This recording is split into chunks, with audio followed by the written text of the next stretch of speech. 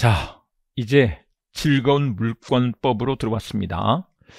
어, 물권법 이 파트를 여러분들이 조금 더 어려워하긴 하는데 어려운 게 아니고 덜 봐서 그래요. 그냥 반복만 좀 하면 점수가 나오거든요. 그래서 어, 시험 문제 나올 것들 위주로 잘 반복하시면 돼요. 그게 우리 강의 노트와 핵심 정리죠. 그래서 강의 노트 보시고 핵심 정리로 좀 훈련하시고 이렇게 하시면 된다. 자, 물권법 총론. 여기도 마찬가지로 총론 강론으로 나눠 볼 수 있는데 총론 파트에서는 물권적 청구권 문제가 제일 중요해요. 그래서 이걸 잘 보도록 하겠습니다. 물권의 의의 그랬는데 어, 우리 이제 강의 노트 중심으로 먼저 훈련을 해보세요. 근데 물권을 잘 아시려면 물권과 채권을 비교해서 봐보면 아시게 된다 이 말인 거죠. 근데 물권은 그냥 물건으로부터 이익을 얻는 거예요. 그러니까 물건에 대한 권리인 거죠. 물권. 그래서 물건에 대한 권리가 된다. 이렇게 되죠. 근데 물건은 그러면 우리 민법에서는 부동산과 동산 두 가지가 있어요. 네. 근데 이제 채권은 채무자의 행위로부터 이익을 얻는다라고 하죠. 근데 채무자의 행위를 학문적으로 급부라고 이렇게 불러요. 급부라고 부른다. 근데 이제 어, 이 물권 채권은 둘 다 재산권이에요. 재산권. 재산적 이익을 누릴 수 있는 권리를 어, 재산권이라고 하는 거죠. 근데 물권으로부터 재산적 이익을 누리죠. 채권도 돈을 받으면 재산적 이익을 누리죠. 그러니까 돈 되는 권리예요. 돈 되는 권리. 재산권이. 물권 채권은 그런 것이다. 그런데 이제 이 채권은 채무자한테만 주장할 수 있기 때문에 상대권이 특정인에게만 주장할 수 있죠. 근데 물권은 이게 절대권이어서 누구에게나 주장할 수 있다. 이렇게 된다는 거죠. 그래서 보자면 봐보세요. 갑이 소유자로서 X라는 물건에 대해서 소유권이라는 물권을 가지게 되면 이 말인 거죠. 우리 소유권은 뭐 하는 권리냐 그러면 물건을 사용식 처분할 수 있는 권리예요. 사용식 처분할 수 있는 권리다. 사용식 처분할 수 있는 이익을 누리는 거죠. 이게 물건이다. 네, 이렇게 되죠. 그래서 이게 갑이 물건을 이렇게 직접 지배하고 있기 때문에 그걸 누구에게나 다 주장할 수 있어. 그래 절대권. 근데 이제 채권은 어 요게 사람에 대한 권리인데 채를 이렇게 한문으로 좀 써보면 사람한테 책임을 묻는 권리예요. 예를 좀 봐보세요. 갑이 어, 채권자로서 채무자들한테 100만 원을 받을 수 있는 채권이 있다. 이런 경우에 100만 원을 받을 수 있는 채권이 있어. 그러면 어, 채무자한테 100만 원을 채무자가 100만 원을 채권자에게 줌으로써 그게 채무자의 행위죠. 줌으로써 이익을 얻는 거죠. 근데 여기서 어, 채권의 대상이 되는 건 돈 100만 원도 아니고 채무자 을도 아니에요. 채무자가 100만 원을 채권자에게 주는 것, 그 행위, 이것을 어, 채권의 대상이 된다 이렇게 말한다. 그걸 이제 학문적으로 급부라고 이렇게 부르는 거죠. 네, 이렇게 되고 그 다음에 이제 이게 물권은 절대권이다 보니까 물권을 법에서 정한 대로만 인정해 주는 거예요. 이게 물권 법정주의죠. 그래서 그걸 만약에 위반했다 그러면 무효가 돼버려. 물권 법정주의다. 그래서 물권의 종류와 내용을 법에 의해서만 인정한다라는 거예요. 어, 이 법정주의도 바로 뒤에서 나오겠습니다만은 물권은 법률 또는 관습법에 의하는 외에는 임의로 창설하지 못한다 이렇게 놨죠. 우리 마음대로 할 수 있는 게 아니에요. 그런데 채권은 어, 갑이 을한테만 받아내면 되는 것이기 때문에 둘이 좋으면 상관없어. 그래서 계약 자유 번칙이 된다. 임의 규정이다. 계약 그래서 계약법 규정은 임의 규정이다 이 말인데 그러니까 계약할 때 다 정하면 정한 대로 되는 거예요. 그게 계약 자유예요. 근데 혹시 우리가 계약할 때 깜빡 잊고 또는 안 정하고 지나가면 이렇게 하게 하자 아, 이렇게 하겠다라고 할 것이다라고 추측을 해서 법을 만들어 준 거예요. 그게 임의 규정인 거죠. 됐죠? 그래서 먼저 계약한 대로 된다. 근데 계약을 안 했으면 그때는 이제 법을 찾아본다. 이런 뜻이에요. 임의 규정이다. 그 다음에 이제 어, 이 권리 내용이 실현되지 않고 있으면 그것을 권리자가 청구할 수 있는 권리를 가져 물권적 청구권, 채권적 청구권 실현할 수 있는 권리를 가지는데 그게 물권에서 나오면 물권적 청구권이 되고 채권에서 나오면 채권적 청구권이 된다는 거죠. 물권적 청구권, 채권적 청구권 됐죠? 네. 그냥 물권 자체는 예를 들면 소유권 같으면 물건을 사용 수익 처분할 수 있는 권리라니까요. 그게 내용이야. 근데 내가 사용 수익 하려고 하는데 누가 방해를 해. 누가 내 걸 가져가 버렸어. 그러면 어 주세요. 방해하지 마세요 하는 권리가 생겨. 그런 청구권이 생긴다는 거죠. 근데 이제 여기서 그냥 좀 이해하기 쉽게 청구권은 청구할 수 있는 권리예요. 이렇게 해주세요 하는 거죠. 이제 그쪽에서 이행을 해주면 어 해주면 그때 이제 만족을 얻게 되는 거죠. 근데 여기는 봤더니 둘 다 청구권이죠. 청구권이 이름이에요. 근데 이제 그 앞에 성이 붙어 있죠. 물권적, 채권적. 청구권은 이름이고 그 앞에 물권적이란 이름, 채권적이란 이름. 이게 붙어 있는 거예요. 붙어 있는데 이것들이 어, 우리 이제 이렇게 생각하시면 돼요. 우리 애들 성이 아빠 성 따라가잖아요. 뭐 그냥 기본적으로 아빠 성을 따라가는 거예요. 그러다 보니까 물권에서 나오면 물권적 채권권, 채권에서 나오면 채권적 채권권. 근데 이제 이렇게 좀 생각해 주시면 돼요. 그게 물권이면 물권적 채권권, 물권이 아니면 채권적 채권권 이렇게 봐주시면 된다. 그리고 물권적 채권권은 소멸시 안 걸리는데 채권적 채권권은 소멸시에 걸린다. 이렇게 된다는 거죠. 이렇게 한번 비교해서 꼭 알아두시고요. 기본적인 내용인데 어, 요거를 모르면 나중에 이제 물권법 공부하는데 지장이 생겨요. 그러니까 훈련을 여러 번 해두신다. 자, 물권의 객체 그랬는데 물권의 객체라는 것은 물권은 무엇을 대상으로 해서 어, 그 권리가 생기느냐, 이익을 얻느냐 이 말이에요. 근데 물권의 객체는 물건인 거죠. 물건. 근데 이 물건에 어, 물건 하나에 물권 하나가 있다는 거예요. 이거 일물일권주의 원칙인 거죠. 일물일권주의 원칙이다. 네. 그런데 어, 어떨 때는 예외적으로 재산권의 객체, 어, 물권이 성립하는 경우도 있다. 저당권이 있는데 이제 우리 뒤에서 공부하시지만 원래 저당권은 부동산에 대해서 설정할 수 있는 거예요. 부동산, 아파트의 저당권 설정하잖아요. 아파트를 어, 담보로 해서 대출을 받잖아요. 근데 아파트가 부동산이잖아요. 그런데 지상권 전세권의 저당권 설정할 수도 있다는 거죠. 지상권 전세권의 저당권 설정할 수도 있어. 이거 꼭 알아두셔야 되죠. 그 다음에 일물일권주의 원칙과 관련해서 어, 이게 하나의 물건에 하나의 물건만 있다는 주의인데 일물일권주의 그러다 보니까 일부를 양도하거나 어, 일부의 저당권 설정하는 거. 양도 저당권 설정하는 것은 안 된다. 이렇게 된다. 어, 또 한 가지. 건물 일부에 관한 소유권 보존기 소유권 보존기 또는 그 말소. 이런 것도 안 되죠. 일부만 소유권 보존기를 하거나 말소를 한다거나 이런 것들은 안 된다고 근데 만약에 처음부터 등기를 잘못했어 이런 경우는 경정 등기를 할 것이다 이렇게 말한다 요건 이제 우리 등기법에서 공부할 내용인데 민법 시험에서 나오기도 해요. 경정 등기는 뭐예요? 어, 정이 바를 정자잖아. 바를 정자이잖아요. 그러니까 처음부터 잘못된 것을 바로 잡는 거예요. 그게 경정 등기가 되는 거죠. 바를 정자 경정 등기가 된다. 네, 됐습니다. 어, 원시적 불일치가 있을 때 바로 잡는 등기를 경정 등기다 이렇게 말을 한다. 그 다음에 이제 그런데 예배가 있다. 용익물권 그리고 구분소유권이 그래 이렇게 되는데 용익물권 그러면 지상권, 지역권, 전세권이 있어. 지상권, 지역권, 전세권이 있는데 이것들은 일부에도 충분히 되죠.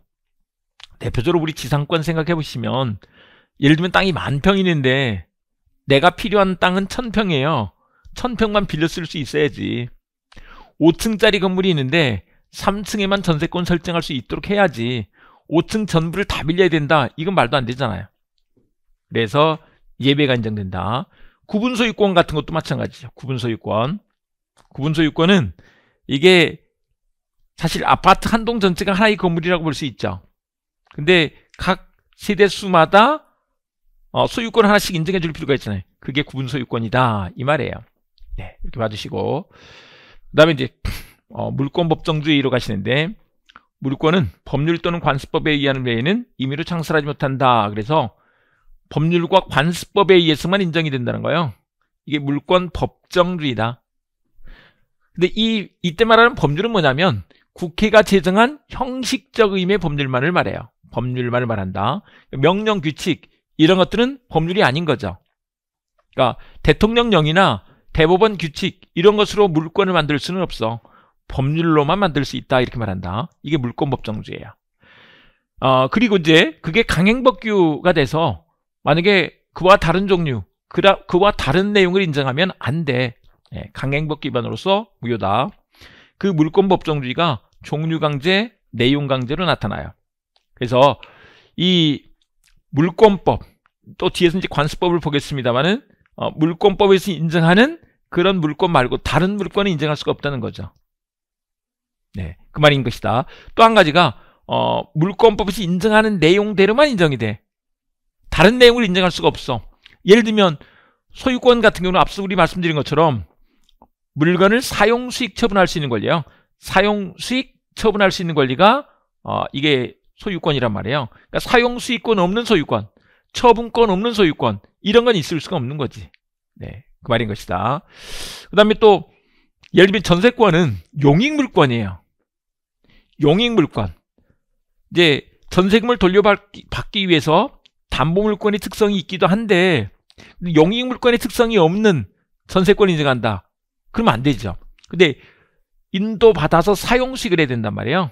사용 수익할 수 있는 물건이다. 이게 물권법정주의가 되는 거죠.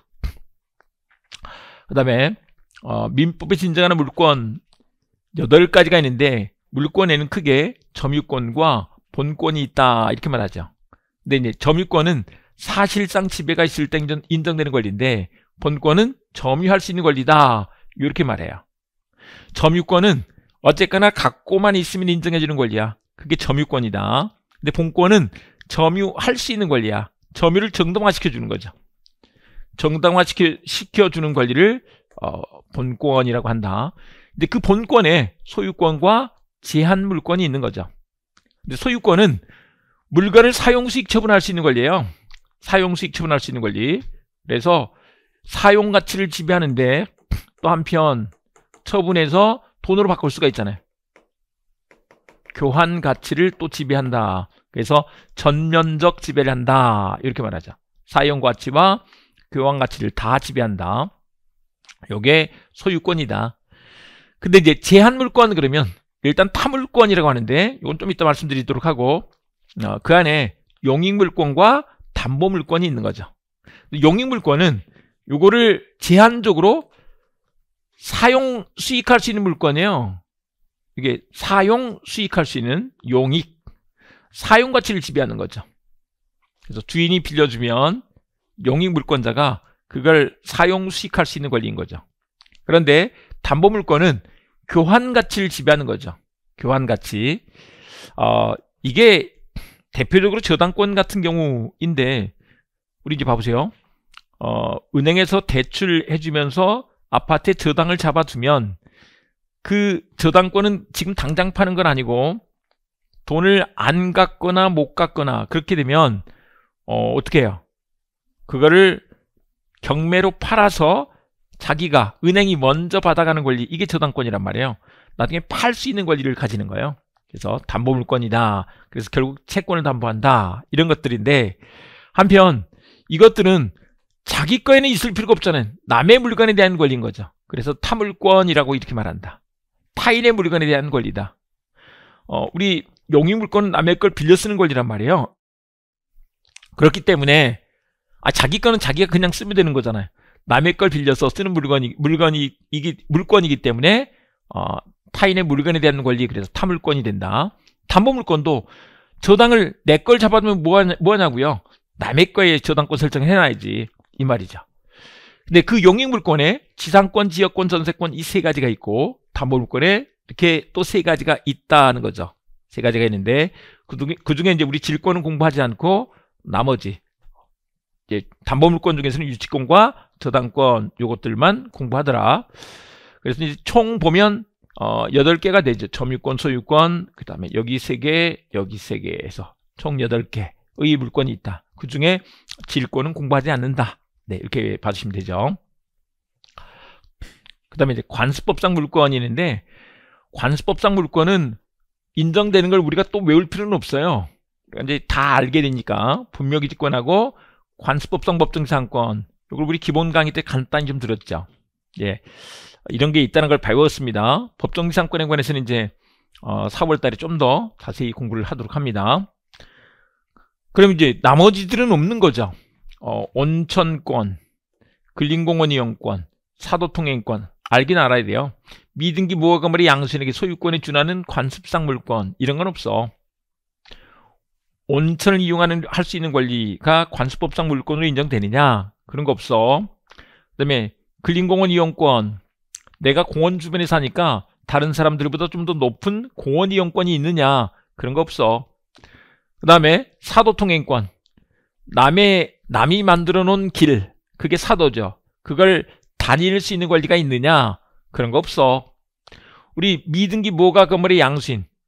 양수인은 소유권을 취득하려면 등기를 해야지 되죠. 근데 그 미등기 뭐가 건물의 양수인한테 소유권에 준하는 관습상 물권 이런 게 있느냐? 그런 거 없다. 이렇게 말한다. 그런 거 없어. 네. 이렇게 봐주시고. 그 다음에 이제 어, 물권의 효력으로 가실 건데 먼저 우선적 효력이 좀 있죠. 우선적 효력에 대해서 한번 봐보겠습니다. 우선적 효력은 물권이 채권에 우선한다 이렇게 하는데 우선적 효력은 둘이 싸울 때를 전제로 하는 거야. 싸울 때 누가 이기냐, 누가 우선이냐. 예를 들면 봐보세요. 자리가 하나 있는데 거기에 두 사람이 탔어요. 하나밖에 없는데 누가 앉을 거야? 이런 문제가 있죠. 뭐 노약자 우선, 임산부 우선 이런 게 있잖아요. 원, 칙이 있죠. 그런 것처럼 물건이 하나가 있는데 이게 물건과 채권이 싸우네? 누가 우선할 거냐? 누가 먼저 앉을 거냐? 아, 이런 이런 얘기가 우선적 효력이다. 물건이 채권에 우선한다. 근데 이제 물건끼리는 먼저 성립한 물건이 후에 성립한 물건에 우선한다. 성립의 선의에, 선의에 의해서 우열이 결정된다. 이렇게 말하죠. 어, 요 얘기도 봤습니다. 가위 소유자 A가 임차인데 임, 임대차 계약을 맺어서 임차권을 갖고 있는 거예요. 그런데 어, 또 B는 X 토지에 대해서 지상권을 갖고 있는 상태죠. 이런 상황에서 X가 양도됐어. 그랬을 때 이게 임차인이 바뀐 주인한테 대항할 수 있겠느냐 이 말이에요. 근데 이제 이 X를 놓고 봤을 때 이 사람은 채권자, 그 다음에 이 사람은 물권자인 거잖아요. 그러면 물권이 채권보다 우선한다 그랬으니까 물권이 이기는 거죠. 임차인 입장에서 봐보면 임차인 입장에서는 어, 나 아직 기간 남았는데 주인이 바뀌어버렸네? 그랬을 때 바뀐 주인한테 새 주인한테 나 기간 남았으니까 다 채우고 나가겠습니다. 이렇게 할 수 있겠느냐 이 말인 거죠. 그런 게 원칙 안 된다는 거죠. 원칙 안 돼. 예. 왜? 물권이 우선하는 거니까. 채권이 진단 말이에요. 안 돼. 다만 등기를 해두면 될 수 있는 거죠. 아니면 이제 주택임대차 같은 경우는 어, 인도와 주민등록, 상가임대차 같으면 인도와 사업자 등록 이거라면 어, 대항력이 생겨. 네. 그래서 임차인의 대항력은 원칙적으로 없어. 그런데 등기를 하거나 아니면 주택임대차나 상가임대차에서 대항 요건을 갖추면 대항력을 인정해 줄 수가 있어. 이렇게 전개가 되어가는 것이다. 그런데 이제 이 지상권은 이거 자체가 물권이잖아요. 그러니까 지상권자한테는 대항력이 있다는 것입니다. 어, 이렇게 봐주시면 되죠. 이렇게 한번 생각을 해보세요. 근데 또 한편 임차인 이 사람 채권자인 거잖아요. 채권자는 상대권만 갖고 있기 때문에 갑한테만 주장할 수 있어요. 어 이건 내 건데 아 내가 써야 되는데 이거를 갑한테만 주장할 수 있다고 다른 사람한테는 주장을 못하죠. 근데 이제 을은 봐보세요. 절대권을 갖고 있단 말이에요. 내가 나한테 판 갑한테도 이건 내 건데 주장할 수 있지만 다른 사람 임차인한테도 주장할 수 있죠. 그래서 절대권이 되는 거예요. 예, 그런 특성이 있다는 것을 알아두시면 되겠고 그 다음에 이제 물권적 청구권인데 이 물권적 청구권이 이번 시간에 제일 중요하다고요. 근데 이제 일단 물권적 청구권은 세 가지가 있다 이렇게 말해요. 거기에 반환 청구권, 방해지거 청구권, 방해 예방 청구권이 있다. 반환 청구권, 방해지거, 방해 예방 청구권이 있다. 어, 또 중간에 그 얘기도 한번 합니다. 나중에 이거 어, 이 강의를 간혹 중간에 또 질문 많이 들어와요. 1, 2월 강의를 들을까요? 3, 4월 강의를 들을까요? 이렇게 여쭤보는 분들이 계시는데 어, 사실 이제 지금부터 하시는 분들은 1, 2월 강의 듣고 이렇게 오시는 게 좋긴 하죠. 시기적으로. 그런데 나, 나중에 늦게 시작하신 분들은 3, 4월 강의를 바로 들으시면 돼요. 근데 이제 어, 뭔 말인지 모르겠대요. 사실은 마음이 급하면 아무것도 잘 안 들려요. 근데 그거는 여러 번 반복하면서 내 거로 만드는 것이기 때문에 반복이 될 때까지는 아 그렇대 그렇대 받아들여야 돼요. 그 차차 알게 되니까 어, 조금 여유를 가지고 공부를 하시기 바랍니다. 그래서 이제 이 세 가지가 있는데 반환청구권은 이걸 내가 갖고 있어야 되는데 다른 사람이 가져가 버린 거죠. 점유를 빼앗겨 버렸을 때 그때 반환청구권 인정된다. 그런데 어, 우리 저당권과 지역권은 점유하는 권리가 아니에요. 그래서 반환청구권이 없다. 저 지역은 반환청구할 수 없어. 이렇게 된다. 저당권과 지역권은 점유, 점유하는 권리가 아니기 때문에 반환청구권이 없다고요. 그 다음에 이제 방해제거청권. 방해제거청권의 대표적인 예 두 가지가 불법 건물 철거 청구와 무효등기 말소 청구가 인정되는데 무효등기 말소 청구 대신에 진정명의 회복을 위한 소유권 이전 등기 청구도 또 인정되죠. 그 다음에 이제 방해방청권이 있는데 이 방해방청권은 방해할 염려가 있을 때만 인정해지죠. 방해할 염려가 있을 때. 그런데 방해 예방 청구와 손해배상의 담보를 청구할 수 있는 게 아니고 방해 예방 청구를 하거나 또는 손해배상 담보를 청구할 수 있는 것으로 한다. 손해배상 문제가 생길 수 있을, 있으니까 담보 청구를 할 수 있다고. 이것도 또는이다. 또는 또는 이렇게 돼야지. 또는 이나 이렇게 돼야지. 과 그러면 틀린다고. 뭐뭐과 틀린다. 둘 다 할 수 있는 게 아니야. 그 다음에 이제 어, 민법의 규정 체계에서 봐보면 우리 물권적 청구는 어떻게 규정하냐 그러면 점유권에서 세 개를 인정해요. 점유물 반환 청구권, 점유물 방해지구 청구권, 점유물 방해 예방 청구권 이렇게 인정을 한다고. 어, 그러니까 점유자로서 반환 청구, 방해지구 청구, 방해 예방 청구 이렇게 할 수 있다고.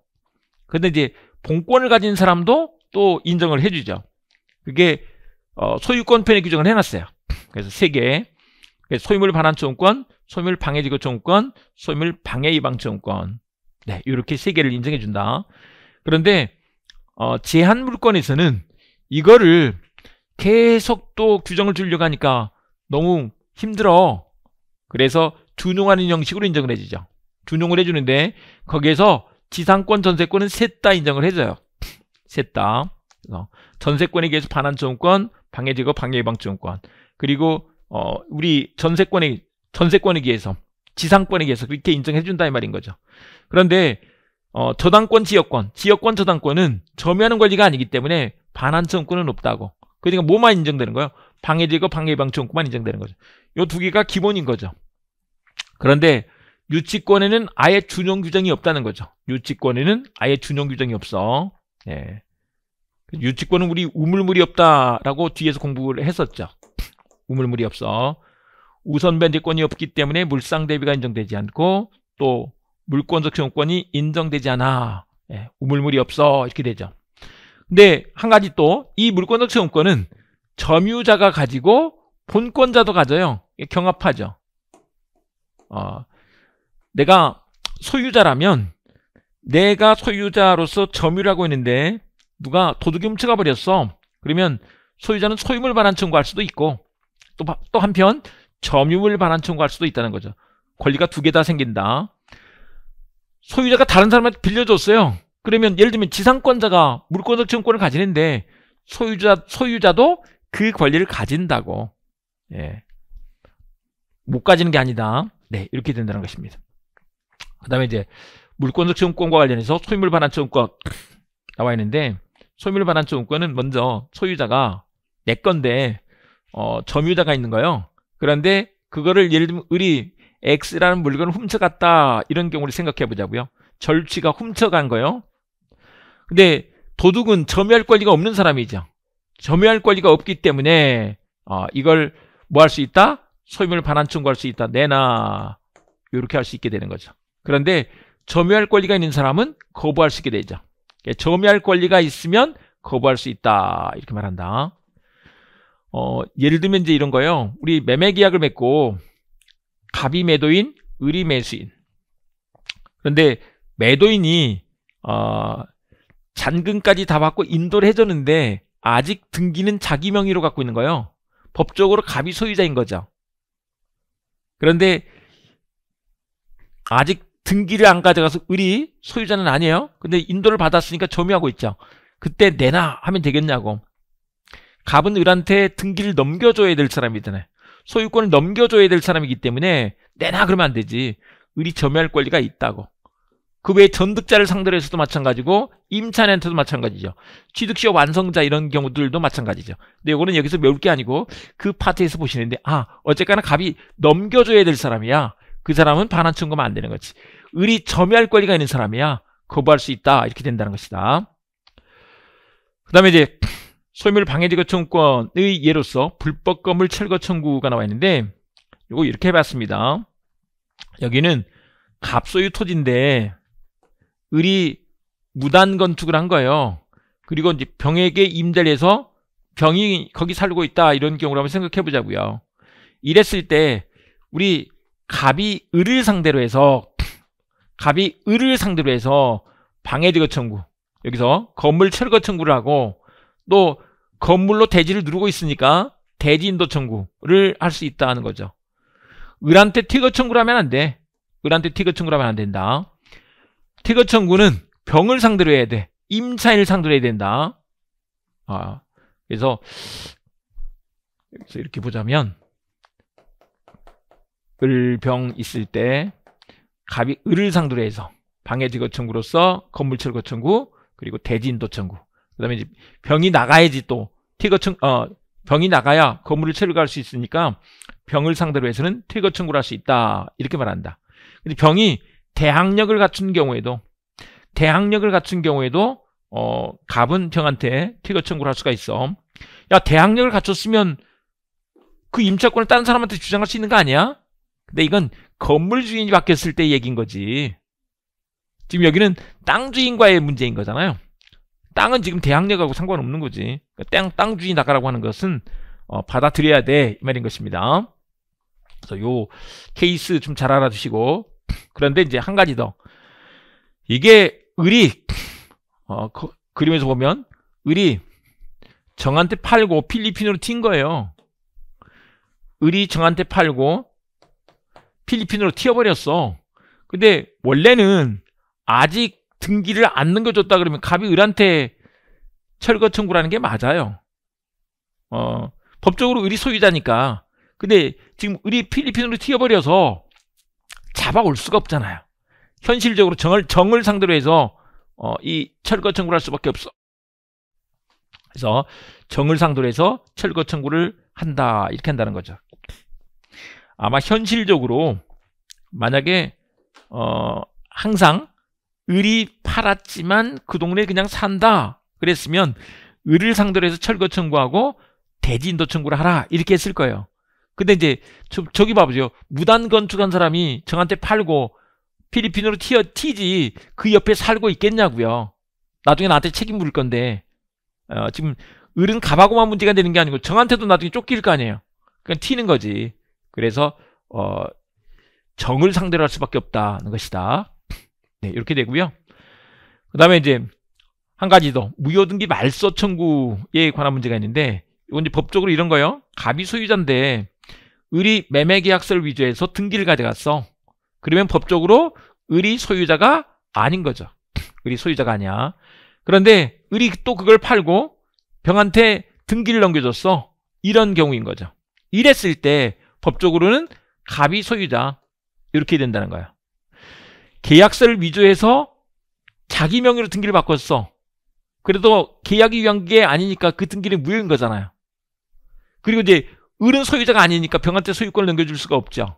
그래서 이때 병 이 사람이 어, 소유권을 소유권 등기를 가지고 있을 수가 없어. 그때는 이제 어떻게 하느냐? 갑이 을병을 상대로 해서 무효 등기 말소 청구를 할 수 있는데 한편 병을 상대로 해서 야 등기 나한테 넘겨줘. 이렇게 할 수도 있다. 진정명의 회복을 위한 소유권 이전 등기 청구할 수도 있다. 그러니까 무효 등기 말소 청구가 원칙적인 모습인데 진정명의 회복을 위한 소유권 이전 등기 청구 이것도 가능하다 말입니다. 그래서 진정명 회복을 위한 소유권 이전 등기 청구는 진정한 소유자가 할 수 있는 거야. 갑이 진정한 소유자죠.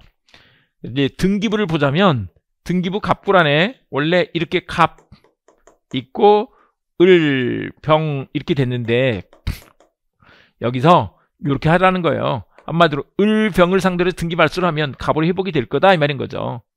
근데 굳이 그럴 거 없이 갑한테 넘어오면 되는 거니까 야 너 나한테 등기 넘겨 라고 해서 바로 이렇게 등기를 해도 돼. 요게 진정명 회복을 위한 소유권 이전 등기 청구다. 이 말인 거라고요. 돼서 이렇게 봐주시고 그 다음에 이제 물권적 청구권의 특수성에서 물권적 청구권은 물권에 의존한다 이렇게 말하죠. 그래서 물권에 의존하기 때문에 항상 현재 물권자가 현재 침해자, 현재 점유자를 상대로 해서 물청을 행사할 수 있는 거야. 그래서 현재가 중요하다. 현재 물권자가 현재 침해자를 상대로 해서 물권적 물권적 청구권 이름을 그래서 현재라고 한다. 물권적 청구권 이름이 현재야. 항상 그래서 현재야, 현재 이렇게 알아두시라고요.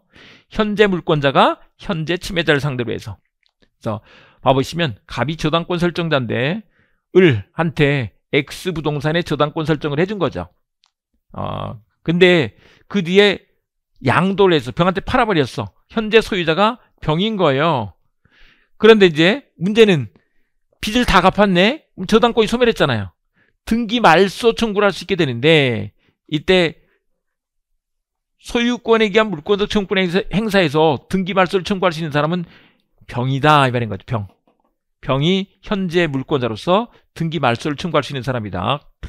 그런데 갑은 현재 물권자가 아니잖아요. 물권적 청구권 행사에서 등기 말소를 청구할 수는 없어. 그런데 갑도 한편 등기 말소 청구할 수 있도록 해주는 게 맞아요. 왜냐하면 그 등기부에 보면 갑이 돈 빌려서 채무자다 이렇게 써져 있거든요. 그래서 갑을 어, 갑한테 등기 말소 청구할 수 있는 권리를 인정해줘야 돼.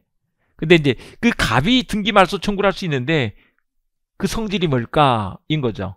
근데 항상 청구권이 있는데 물청이 아니면 채청이라고. 현재 갑이 물권자는 아니잖아요. 그러니까 물청은 아닌 거지. 물청이 아니면 뭐라고요? 모두 채청이다 이렇게 된다. 계약상 채권 채무 관계에 있는 거야.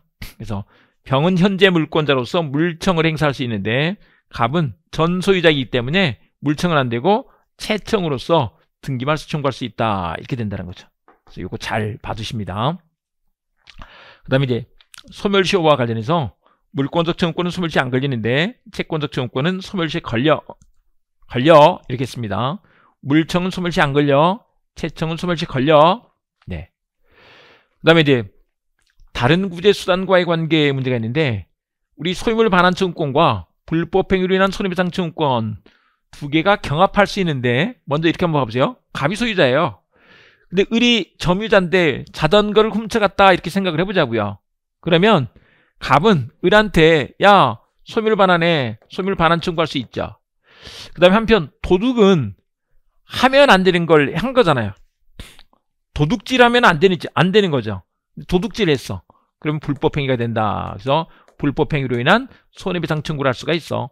소멸 반환 청구할 수 있어. 불법행위로 인한 손해배상을 청구할 수 있어. 이렇게 되는 게 맞죠.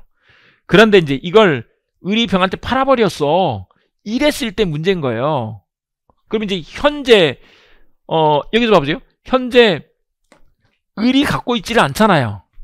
갖고 있지를 않기 때문에 이 사람한테 야 내놔 라고 할 수는 없다는 거죠. 그 사람이 도둑인 건 맞지만 내놔 한다고 해서 내놓을 수 있는 게 아니잖아요. 반환 청구할 수 있는 게 아니야. 근데 이제 훔쳐간 건 불법행위 맞잖아요. 불법행위로 인한 손해배상 청구는 할 수 있지만 이 말인 거라고. 그때는 누구를 상대로 내놔라고 해야 되느냐. 지금 현재 갖고 있는 사람이 병이잖아요. 어쨌거나 갑이 소유자가 맞으니까 야 내놔 라고 할 수 있는 거지. 네 이렇게 된다. 그래서 갑의 청구는 을한테 소멸 반환 청구는 못해. 이땐 불법행위로 인한 손해배상 청구를 할 수 있고 병한테 소멸 반환 청구하는 게 맞죠. 근데 병은 어 그냥 작물인 줄 모르고 산 사람이에요. 그러면 불법행위는 아니지. 불법행위로 인한 손해배상을 청구할 수는 없다. 이렇게 된다. 근데 이제 이게 불법행위로 인한 소, 손해배상은 어, 이 가해자한테 고의과실이 있어야 돼요. 고의과실. 귀책 사유가 있어야 되죠. 그리고 피해자한테 손해가 발생했어야 했어야지. 근데 물권적 청구권은 그런 걸 안 따져. 그런 걸 안 따진다. 이런 걸 한번 생각해 보세요. 어, 우리 내게 태풍의 바람에 태풍 때문에 바람에 날려서 옆집으로 넘어가 버렸어. 옆집이 뭔 죄예요? 옆집은 아무 죄가 없잖아요. 그냥 옆집에 산 죄밖에 없네. 네, 고의과실이 없죠. 그럼에도 불구하고 주인이 달라고 하면 줘야 될 거 아니에요. 고의과실 안 따져. 손해가 발생했는지 이런 것들도 안 따진다고요. 어, 그래서 달라고 하는 거 이런 거 안 따져. 근데 이제 생각을 해보죠. 옆집한테 야 그게 날라가서 뭐 흠집이 났네. 야 너 손해배상해. 그러면 되겠냐고요. 말도 안 되지. 재밌는 사건 말씀드렸습니다. 홍수가 나서 소가 떠내려가 버린 거예요. 다른 동네까지 떠내려가 버렸어. 근데 어느 집에서 데리고 있네. 그 집에 가가지고 어, 내 소 주세요 하는 거 가능하죠. 그랬더니 내가 뭔지가 있는데 그러면 돼야 안 돼요. 아니 그냥 내 소를 달라고 당신의 고의과실을 따지는 게 아니라고요. 됐죠? 네, 그런 거 안 따져. 근데 이제 그 집에다가 손해배상하세요 라고 했다고 생각해 보자고요. 물론 소가 홍수에 떠내려가는 바람에 고생해, 고생해서 홀쭉해졌어. 손해가 발생한 건 맞아. 근데 그 집에 뭔지가 있냐고. 어, 고의과실이 없는 거지. 그러니까 손해배상 청구하는 것은 안 된다. 물권적 청구권은 되는 거예요. 그래서 이렇게 되고 이제 고의과실까지 있으면 둘 다 인정될 수 있는 거죠. 그 다음에 이제 다른 구제 수단과의 관계 문제가 있는데 물권적 청구권 속에 이런 것들이 포함되어 있느냐 이 말이에요. 불법 행위로 인한 손해배상 청구가 포함되어 있는 게 아니라고. 그냥 별개로 판단하는 거예요. 내 공이 옛날 같으면 내 공이 공놀이를 하다가 옆집으로 넘어가 버렸어. 그냥 달라고 할 수 있는 거 맞잖아요. 손해배상하고는 상관없어. 예, 그런 거 상관없어. 그런 게 포함되어 있는 게 아니라고요. 근데 만약에 도둑이 그랬어. 그러면 내놔 도 되지만 손해배상 청구도 할 수 있는 거죠. 손해배상 청구권 인정돼. case by case로 판단한다는 거죠. 또 거기에 어, 소를 데리고 오는데 비용이 필요하대. 차가 필요하대. 트럭이 필요하대. 아, 홍수로 떠내려가서 지금 신고해서 돌려주는 것만 해도 어디야. 근데 트럭 값을 내놓으라고? 말도 안 되는 거지. 근데 만약에 이제 그게 도둑이 그랬어. 트럭 값까지 내놓, 내놓는 게 맞죠. 비용 청구권 인정된다고. case by case로 판단한다는 것이다. 그리고 이제 물권적 청구권에서 방해제거 청구권이 있는데 이건 손해하고는 개념이 좀 달라. 아, 방해와 손해는 다르다. 근데 이거를 너무 깊이 알려고 하면 말 자체가 너무 어려워. 알지 말고 방해와 손해는 다르구나 정도로만 딱 알고 가면 돼요. 방해와 손해는 달라. 네, 이렇게 해서 봐두시면 되겠고 우리 교재를 한번 봐보도록 하겠습니다. 교재 보시면 어, 우리 280페이지입니다.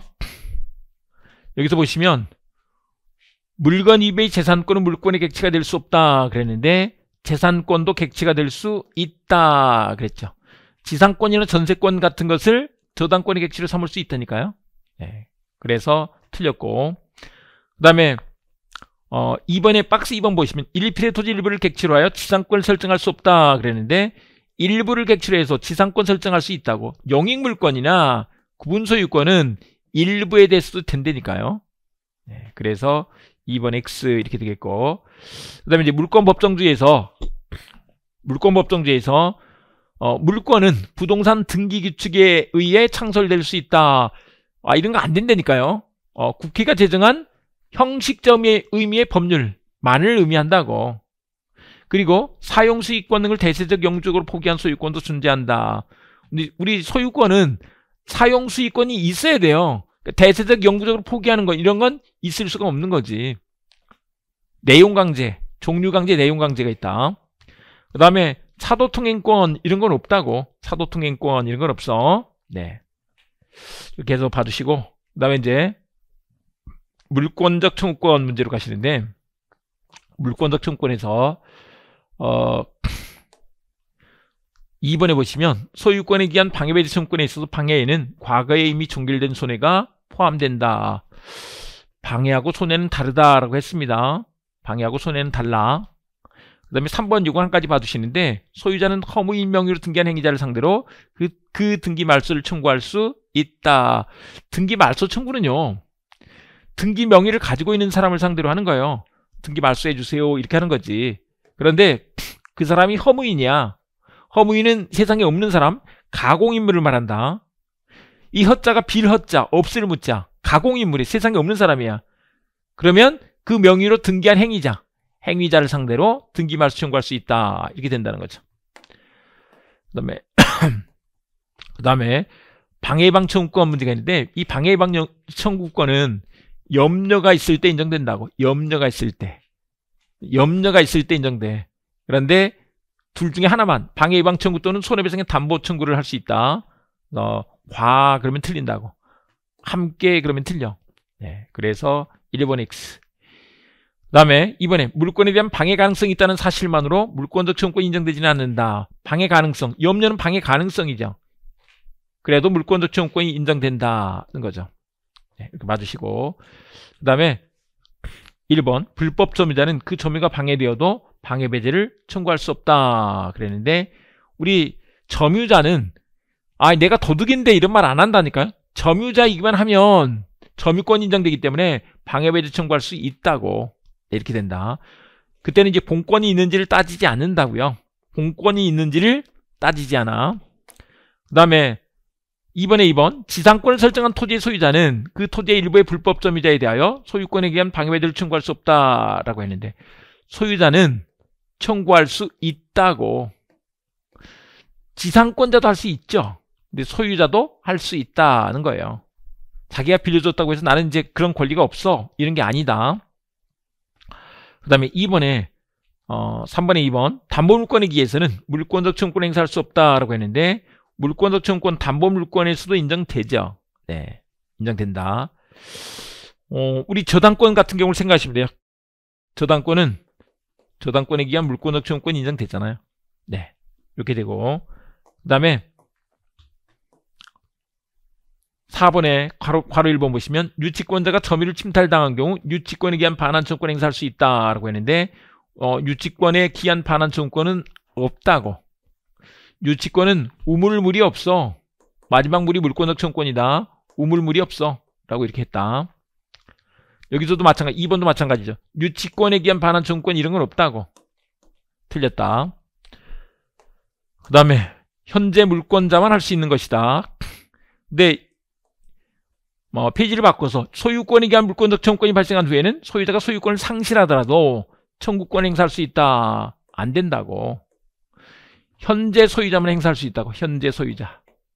현재 소유자가 아니죠. 현재 소유자만 할 수 있는 것이다. 아, 그래서 틀렸고 그 다음에 2번에 임차인은 임차 목적물에 관한 임대인의 소유권에 기한 물권적 정권을 대위 행사할 수 없다 그랬는데 임차인은 직접은 안 되죠. 채권자니까. 근데 임차인은 뭐예요? 채권자인 거잖아요. 항상 채권자는 뭐라고요? 최대위 최대위 그랬죠. 그 다음에 3번 미등기 모가 건물의 양수인도 그 건물의 불법 점유자에 대하여 직접 자신의 소유권에 기하여 건물의 반환을 청구할 수 있다. 미등기 모가 건물의 양수인은 아직 현재 소유자가 아니잖아요. 그래서 어, 직접 자신의 소유권에 기, 기해서 반환 청구하는 거 이런 건 안 되는 거지. 현재 물권자가 아니야. 현재 소유자가 아니라고. 그 다음에 분리양도 하면 안 되죠. 분리, 양도 하는 거 안 돼. 불량도 하지 못한다. 유보해두는 특약도 안 되죠. 항상 현재 물권자가 특약이 안 되는 게 이게 물권법은 강행 규정이라고 했잖아요. 그래서 안 된다. 그 다음에 상대방 현재 침해자 또는 현재 방해 상태를 지배하고 있는 자인데 1번의 소유자는 소유물, 소유물을 불법 점유한 사람의 특별 승계에 대하여는 그 반환을 청구하지 못한다. 불법 점유한 사람의 특별 승계인에게 반환 청구할 수 있다라고 해야지 되죠. 어, 현재 침해자를 상대로 한다라고 했잖아요. 현재 침해자를 상대로 해서 할 수 있는 것이니까. 네, 이렇게 된다. 그 다음에 4번에 점유보조자가 그 물건의 사실적 지배를 가지는 이상 물권적 청구의 상대방이 된다. 어, 물권적 청구의 상대방이 되는 사람은 점유보조자가 아니고 우리 점유자가 돼야지 되죠. 점유자를 상대로 해야 돼. 예, 된다. 그래서 틀렸다. 어, 이건 이제 우리 또 점유권 편에서 공부를 해야 됩니다만은, 어, 우리 점유자를 상대로 해서 소유자가 소유물 반환 청구를 할 수 있는 것이라고. 점유 보조자는 점유자가 아니죠. 점유 보조자는 직원이잖아요. 사장님을 상대로 해야 돼. 네. 그렇게 됩니다. 그 다음에, 어, 2번에 보시면 토지의 점유자가 점유취득세를, 점유취득세를 완성한 경우에, 경우에도 토지 소유자, 토지 소유자는 그 토지 인도를 청구할 수 있다. 그랬는데, 어, 인도 청구를 점유취득세 완성자한테는 하면 안 되지. 안 되지. 점유취득세 완성자한테 소유권을 넘겨줘야 되잖아요. 넘겨줘야 되는데 내놔! 그러면 안 된다니까요. 네, 계속 봐주시고 그 다음에 어, 나머지 좀 봐보시면 여기서 마지막에 4번 물권적 청구권의 상대방에 대해서는 언제나 불법 행위를 이유한 손해배상 청구권을 행사할 수 있다. 물권적 청구권의 상대방한테 손해배상 청구할 수 있는 그 경우가 있죠. 근데 언제나는 아니죠. 언제나는 아니다. 음, 언제나가 틀렸죠. 도둑한테는 손해배상 청구할 수 있다고. 근데 아까 소, 떠, 소 떠내려가서 지금 소를 데리고 있는 집, 그 집에다가 손해배상 청구하면 안 되잖아요. 소유물 반환 청구를 할 수 있지만 어, 이 손해배상 청구할 수 있는 것은 아니라고.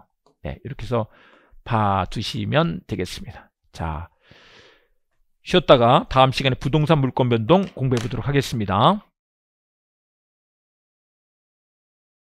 자, 이제 물권 변동 보겠습니다. 물권의 변동에서 공시의 원칙과 공신의 원칙이라는 게 있어요. 공시의 원칙이란 건 뭐냐면 물권 변동하는데 공시 방법을 갖춰라 이런 뜻이에요. 예. 그래서 부동산 같은 경우는 등기를 해야 되고 동사는 점유 어, 이전을 해줘야 돼. 점유 이전해 주는 것을 인도라고 하죠. 그래서 아파트를 사면 그게 내 것이 될 때 되려면 등기까지 있어야지 되죠. 우리 시장 보는 것도 생각해 보세요. 어, 이거 주세요. 그랬어요. 돈을 줬다고 내 게 아니에요. 그게 나한테 넘어와야 내 거예요. 인도해 줬어야 내 것이 된다고. 동산 같은 경우는 그렇게 된다는 거죠. 그런데 공신의 원칙은 뭐냐면 그 공시 방법을 믿은 사람, 믿을 신자, 이 사람을 부해 줄 거냐 이런 문제죠. 그런데 부동산 등기에는 공신력이 없다 이렇게 말한다. 동산에서는 선의 취득을 인정하죠. 그래서 어, 남의 건 남의 거를 판 거예요. 남의 걸 샀어. 주인 어, 나한테 판 사람이 주인이 아닌 거예요. 근데 부동산에서는 소유권 취득할 수 없다고. 동산에서는 믿고 샀으면 소유권 취득할 수 있어. 그 사람이 주인이 아닌 걸 모르고 샀으면 소유권 취득을 인정해버려. 그런 걸 선의 취득이라고 한다고. 근데 부동산에서는 그걸 인정하지 않는다는 거죠. 네. 그 다음에 부동산 물권 변동. 물권 변동의 원인으로 가서 보면 크게 법률행위와 법률행위 아닌 걸로 나눠볼 수 있는데 법률이 아닌 걸 법률 규정이라고 이렇게 한다고. 근데 법률행위로 인한 변동은 반드시 등기를 해야지 되죠. 등기가 있어야만 물권이 변동된다. 이제 그런 것으로 우리 매매 교환 증여에 의한 소유권 변동, 매매 교환 증여는 계약이잖아요. 그러니까 등기가 필요한 거지. 그 다음에 지상권, 지역권, 전세권, 저당권 등 제한 물권 설정, 제한 물권 설정도 합의라는 거예요. 계약이니까 등기가 필요한 거죠. 네, 이렇게 된다. 우리 이제 제한 물권 중에서는 여기서 어 유치권이 하나 빠졌어요. 유치권. 근데 유치권은 법정 담보 물권이기 때문에 이 자리에서 빠져 있는 거죠. 지상권, 지역권, 전세권, 저당권 등 제한 물권 설정은 이게 등기가 필요하다. 그 다음에 이제 공유물 협의 분할 같은 경우에도 협의가 협상에 의한 합의다라고 했습니다. 등기가 필요하죠. 그런데 이제 그걸 이렇게 합의해놓고 등기를 안, 해줘, 안 해줘요. 그럼 이제 판결을 받아서 하면 되죠. 그게 이행 판결이 되게 되면 등기가 필요하다 하는 거예요. 화해 조서, 조정 조서 이런 것들도 마찬가지야. 이행 판결은 등기가 필요한 거예요. 그 다음에 이제 법률 규정에 의한 거 우리 등기가 필요 없는데 거기에 예외가 한 가지 있다. 그게 점유취득시에서 그렇죠. 점유취득시효는 이게 자체가 법률 규정에 의한 소유권 취득이 되는 것이긴 한데 소유권 취득하려면 등기는 있어야 돼. 등기가 필요하다 이렇게 말한다. 그런 것들로서 어 이제 우리 상속, 공용징수, 판결, 경매, 기타 법률 규정 이런 것들인데 그걸 나중에 처분하려면 등기가 필요한 거예요. 처분하려면 등기가 필요해. 여기서 처분은 매매로 처분하는 것을 말하는 거예요. 예. 근데 이제 일단 등기가 필요 없는데 나중에 처분하려면 등기가 필요해. 상속 같은 경우는 피상속인의 사망 시에 바로 소유권 변동이 있는 거죠. 돌아가신 부모님 이렇게 생각을 해보자고요.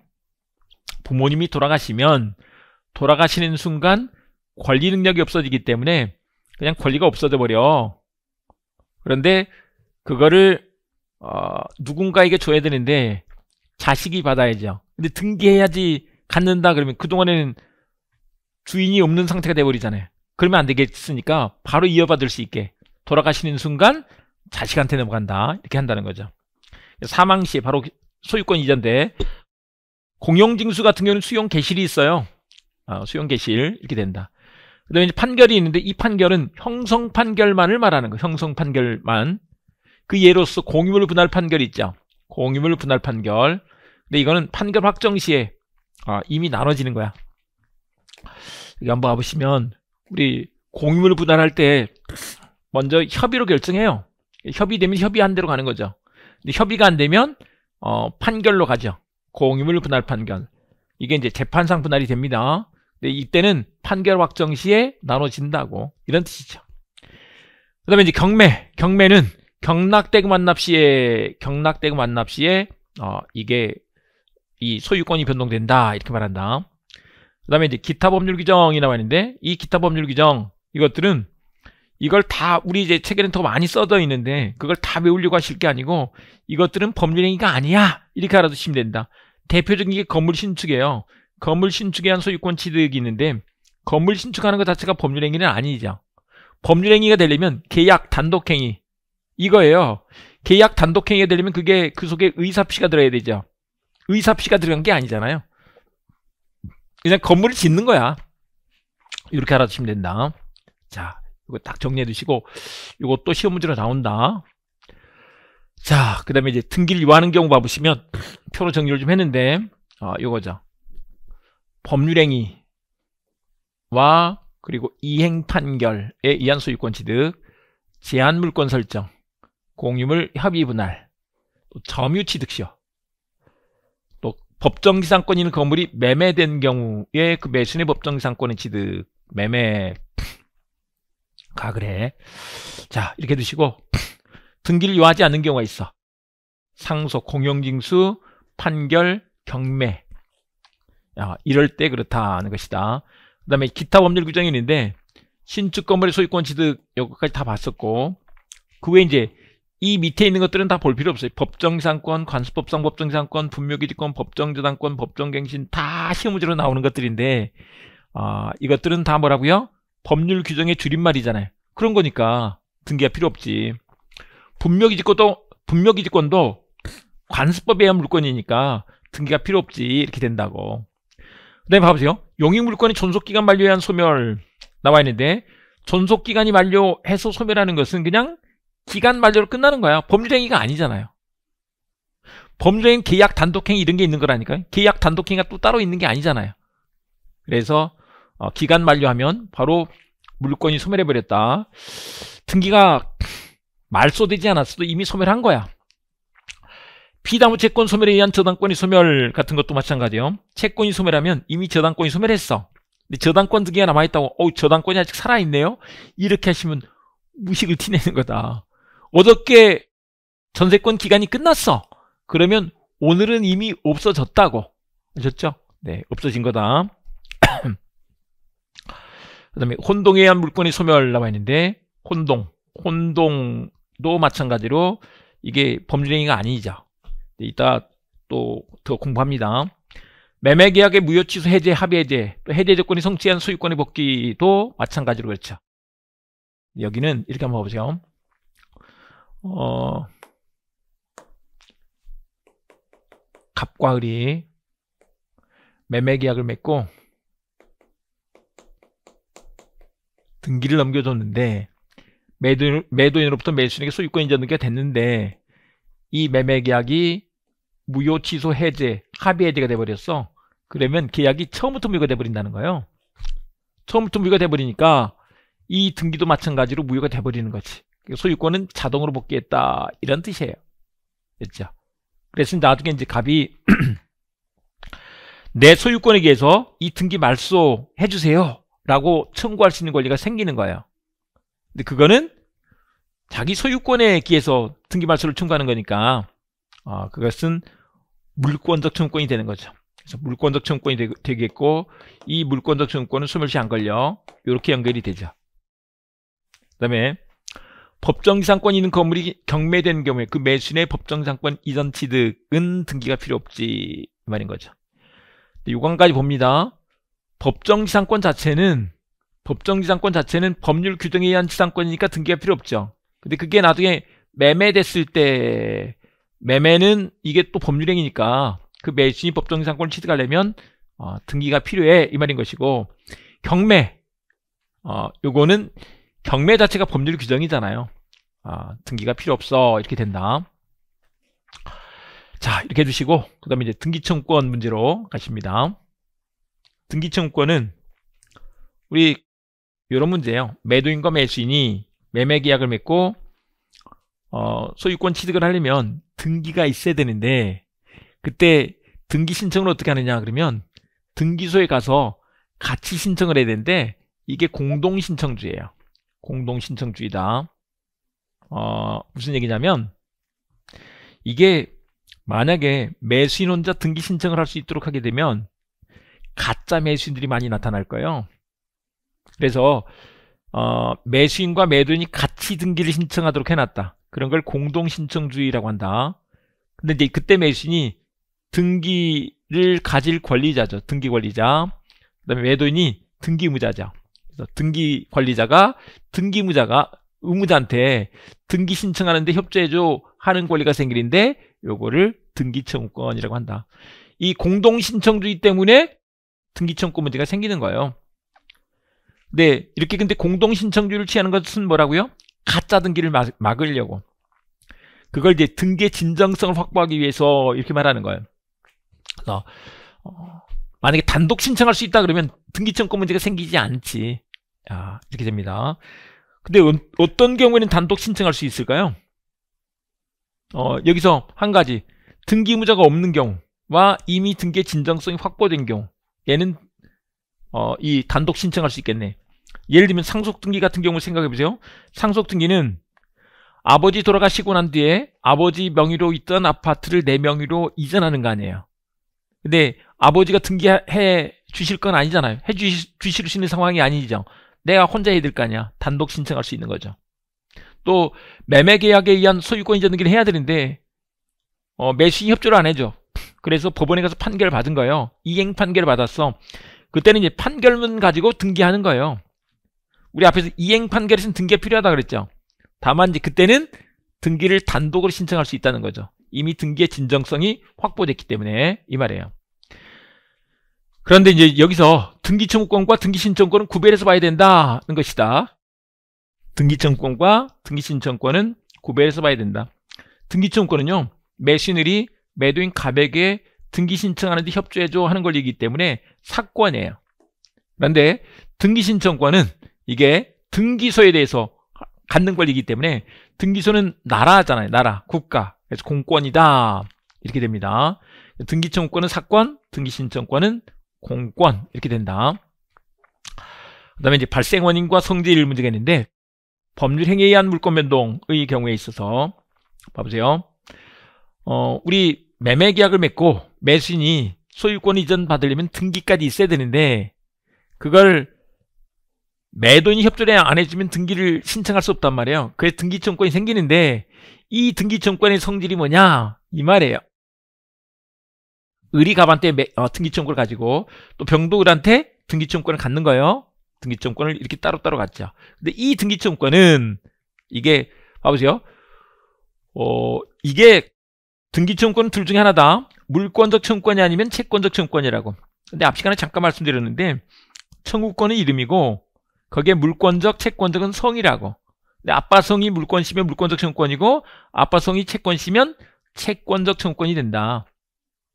근데 을 입장에서는 봐보면 아직 물시가 된 게 아니죠. 그러니까 채권적 청권이겠네 이 말인 거죠. 채권적 청권이 된다. 어, 이걸 봐주시는데 채권적 청권이 돼. 근데 이제 이런 거죠. 매매 계약에 의해서 어, 매매 계약을 맺으면 이제 논리적으로 한번 좀 설명드려 보겠습니다. 매수인은 X를 넘겨받을 채권을 가지게 되는 거야. 그리고 이제 매, 매도인은 대금을 받을 채권을 가지게 되겠죠. 대금 채권을 갖게 된다. 이렇게 됩니다. 그래서 그 채권으로부터 이 등기청권이 생겼기 때문에 채권적 청권이라고. 근데 채권적 청권은 원래 소멸시효 걸리는 거죠. 소멸시효 걸리는 게 원칙이다. 그런데 을이 만약에 어, 그걸 인도받아 쓰고 있을 때 그때는 권리에 잠자는 것이 아니기 때문에 어, 소멸시효 걸리지 않는다. 인도받아 사용시가고 있을 때 소멸시효 걸리지 않는다. 이렇게 말한다. 그런데 을이 또 병한테 팔았어. 처분하고 점유를 승계해줬어. 이런 경우에는 어떻게 되느냐? 이 경우에도 마찬가지로 적극적인 권리 행사가 있었기 때문에 어, 소멸시에 걸리지 않는다. 이렇게 말한다. 어, 소멸시에 걸려 원칙 안 걸리는 경우가 있다는 거죠. 이렇게 인도받아 사용 수익하고 있으면 안 걸린다. 의리 그걸 인도받아 사용 수익하고 있으면 권리 위에 잠자는 게 아니라고. 소멸시효는 일정한 시간 동안 권리 행사를 하지, 권리 행사를 하지 않고 권리 위에 잠자고 있으면 행사하지 않는 게 잠자는 거예요. 잠자고 있으면 그 권리를 소멸시켜버려. 없애버려. 어, 등기청권 같은 경우는 이제 채권적 청권으로서 기본적으로 10년의 소멸시효 걸리죠. 10년간 행사하지 않으면 그렇게 된다고. 근데 그걸 인도받아 사용 수익하고 있으면 권리에 잠, 잠자고 있는 게 아니라고 본다는 거죠. 안 걸려. 그러다가 또 의리 병한테 팔았어. 이런 경우에도 안 걸려. 이렇게 된다. 잘 봐주십니다. 그런데 이제 이런 문제가 있어요. 병이 지금 을한테 또 샀는데 그 등기가 을한테 있는 게 아니고 갑한테 있네. 그랬을 때 을이 갑한테 가지는 이 등기청권을 을과 병간의 합의만으로 넘겨서 요게 채권양도예요. 채권양도를 해서 등기청구할 수 있겠느냐 이런 문제예요. 그런데 그런 게 안 된다. 취득시효에서는 돼. 취득시효에서는 된다라고 한다. 매매에서 안 되는 거 봐주시고요. 취득시효는 된다라고 한다. 요건 이제 뒤에 또 책, 어, 우리 중간 생략 등기 편에서 보시게 됩니다. 그때 말씀드리도록 하죠. 자, 이렇게 봐주시고. 그 다음에 미등기 매수인의 법적 집이 대금 완납하고 인도받은 매수인을 전제로 해서 여기서 봐보세요. 매도인 갑과 매수인 을 사이에 매매 계약을 맺고 있어요. 그런데 어, 대금 완납했습니다. 대금 다 줬어. 근데 을이 그걸 인도받았어. 이걸 전제로 해서. 근데 아직 등기는 안 된 상태죠. 등기가 안 된 상태. 이 사람을 미등기 매수인이라고 하는데 그 법적 지위가 어떻게 되느냐 이 문제예요. 근데 여기서 봐보면 아직 등기가 안 넘어갔으니까 법적으로 소유권은 갑한테 있는 거죠. 소유권은 갑한테 있다. 을이 소유자는 아니죠. 그러니까 을이 소유권을 주장할 수는 없어. 이 말이에요. 매도니 채권자의 강제 집행에 대해서 제3자 이해소를 제기할 수 있느냐 인데 매도니 채권자가 지금 갑이 빚을 못 갚아서 채권자가 강제 집행을 하고 있는 거예요. 압류를 막 했어. 이랬을 때, 어, 이건 내 건데, 제3자 이해소라는 것은, 이거 내 건데, 이 말이에요. 이런 주장을 할 수 있겠느냐? 그런 거 안 된다는 것이다. 또 한편 을은 물권적 청구권 행사 이것을 직접은 못하죠. 직접 못하고 대비 행사할 수 있다 이렇게 말한다. 직접 못하고 대비 행사할 수 있다라고 한다. 이 직접 못한다는 게 앞, 앞 시간에 공부했잖아요. 물청은 현재 물권자가 행사하는 것이라고. 현재 물권자가. 현재 물권자가 행사하는 것이다. 어, 근데 현재 물권자가 아니잖아요. 아직 등기를 안 했으니까. 직접은 못해. 근데 이 사람은 채시잖아요.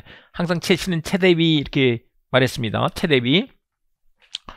그런데 법률상 사실상 처분권을 가지긴 해. 그래서 건물 철거 청구의 상대방이 될 수 있다는 거죠. 요거는 이제 이렇게 한번 해볼게요. 요게 어, 지금 건물인데 이 X가 건물인데 A가 토지 소유권을 갖고 있다 이렇게 생각을 해보자고요. A 소유 토지인데 갑이 건물을 지어서 무단 무단 건축을 해서 갖고 있다가 을한테 팔고 필리핀으로 튀었어. 근데 갑이 갖고 있을 때는 A가 갑한테 철거 청구할 수 있죠.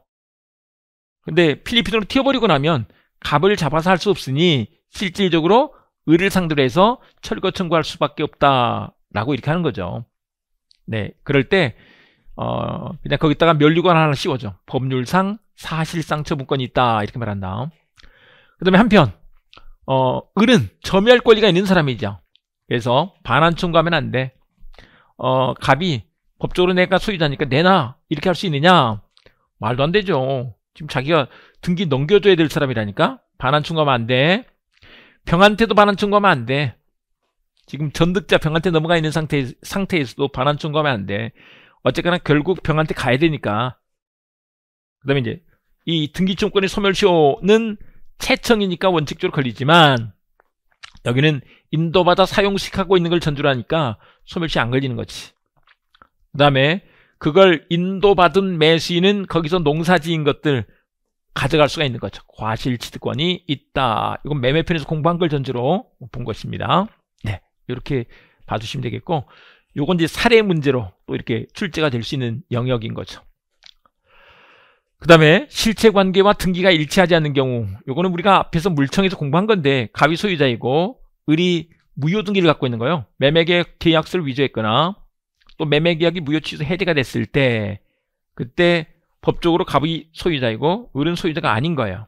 근데 을이 또 병한테 팔고 등기를 넘겨줬어. 그래도 병은 기본적으로 소유권 취득할 수 없는 거죠. 이랬을 때 갑은 을, 병을 상대로 해서 무효등기 말소 청구할 수가 있는데 병을 상대로 해서 직접 나한테 등기 넘겨줘. 이렇게 할 수 있다. 각 말소 등기를 청구할 수 있는데 진정명 회복을 위한 소유권 이제 등기 청구도 가능한 거야. 을, 병을 상대로 하고 병을 상대로 해서는 아, 진정명 회복을 위한 수익권제 등기 청구를 할 수 있다. 이게 진정한 소유자는 그게 가능하다 이렇게 했었잖아요. 네, 그 얘기를 지금 하고 있는 것이고요. 자, 그 다음에 등기 청구권을 정리해서 채권적 청구권 얘는 소멸시효 걸리는데 봐보세요. 법률행위에 의한 등기 청구권은 매매 계약만 있었지 아직 소유권 취득한 상태가 아니잖아요. 그러니까 채청인 거지. 점유취득세 완성, 완성도 마찬가지예요. 그 다음에 부동산 임차권, 환매권 이런 것들은 채권이에요. 채청인 거죠. 그 다음에 전소유자. 전소유자는 현재 소유자가 아니잖아요. 현재 소유자가 아닌 사람은 다 채시라고. 채청이라고. 그 다음에 물권적 청구권. 어, 이거 쭉 봤죠. 법정 지상권자가 처분하려면 등기를 해야지 되는데 법정 지상권 자체가 이미 물권이잖아요. 그러니까 물청이 된다. 현재 소유자가 저당권 등기 말소 청구할 수 있는데 현재 이 사람은 현재 물권자니까 어, 물청이다 이 말인 거죠. 이건 소멸시 안 걸려. 채청은 소멸시에 걸려. 물청은 소멸시 안 걸려. 이렇게 정리해 두시면 되죠.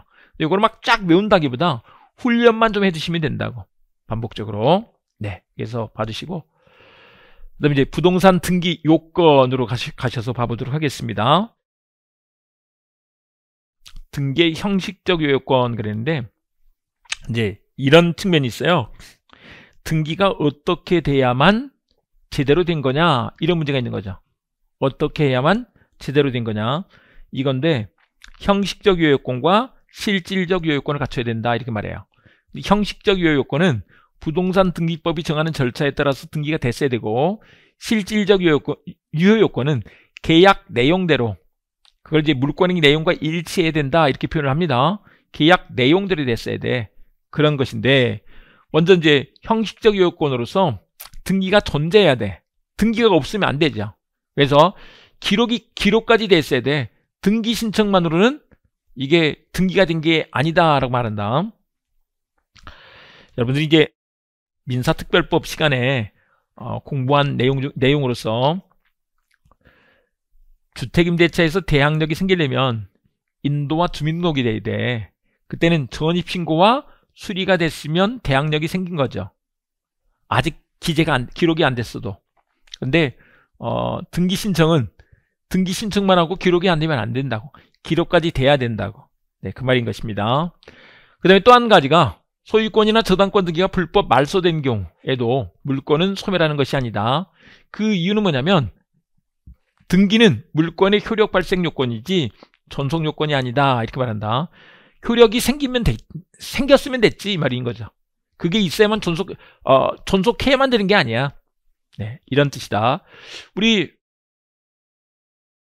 앞서서 보신 것도 이거잖아요. 갑이 소유자인데 을이 계약서를 위조해서 등기를 가져갔어. 어, 이런 경우에요. 또는 그걸 나중에 이제 병한테 넘겼어. 그랬어도 그냥 소유자는 갑인 거지 을병이 아니잖아요. 예, 됐죠. 등기가 없어졌어도 마찬가지라고 마찬가지로 그렇다고. 저당권 등기가 불법 말소됐다고 해서 저당권이 소멸하는 게 아니에요 법적으로. 물론 나중에 경매가 되면 소멸하죠. 네, 그 전에 어, 불법 말소만으로 소멸하는 것은 아니다. 이 말입니다. 그 다음에 이제 등계 형식적 요건 두 번째가 뭐냐면 이중 등기 문제예요. 중복 등기라고도 하는데 어, 이중 보존 등기가 되는 경우에요. 근데 이제 이런 거예요 X 부동산이 있는데 X 부동산에 대해서 등기부가 하나만 있어야 될 거 아니야. X 등기부. 이렇게 하나만 있어야 될 거 아니야. 그런데 같은 등기부가 또 만들어진 거예요. 이렇게 될 수가 있나? 근데 이제 이게 지금은 거의 정비가 돼서 이런 문제가 안 생길 건데 옛날에 지금도 아직 그 잔재가 좀 남아있어요. 옛날에 어, 그랬었대요. 어, 옛날엔 종이 등기부였잖아요. 종이 등기부일 때 그 편제를 1번지부터 뭐 이게 끝까지 쭉 1, 2, 3, 4, 5, 6, 7, 8, 9, 10 이런 식으로 등기부가 정리되어 있는 게 아니고 등기 신청이 들어오는 대로 받았대요. 그래서 100번지 등, 어, 등기 신청이 들어왔어요. 그래서 100번지 등기부를 만들었죠. 그런데 갑자기 또 75번지가 들어와 270번지가 들어오고 320번지가 들어오고 어, 15번지가 들어오고 35번지가 들어오고 막 185번지가 들어오고 이런 식으로 들어온단 말이에요. 그러면 그냥 뒤죽박죽 섞여 있는 거죠. 그러다 보니까 이미 등기부가 있는데 또 등, 같은 부동산에 대해서 같은 건물에 대해서 또 등기 신청이 들어온 거예요. 이랬을 때 어떤 등기가 유효하다, 유효하다고 해야 될까? 요게 문제인 거예요.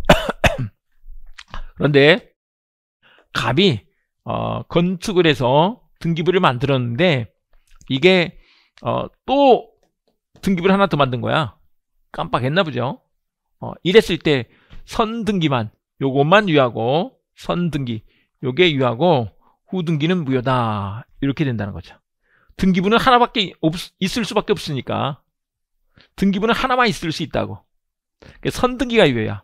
후등기는 무효야. 어, 이렇게 좀 생각해 보면 어떨까요? 우리 호적 요즘 가족관계 등록부를 만드는데 가등이라고 합니다만은 가족관계 등록부를 만드는데 그거 하나만 있는 거죠 하나만. 어, 등기부가 하나만 있어야지. 호적 하나만 있어야지. 그러니까 등기부도 하나만 있어야지. 이게 이제 물적 편성주의죠. 근데 또 이런 경우가 생길 수 있대요. 갑이 건물을 신축해서 보존 등기를 했는데 그 매수인 을이 또 등, 등기가 없는 줄 알고 어, 보존 등기 해버린 거예요.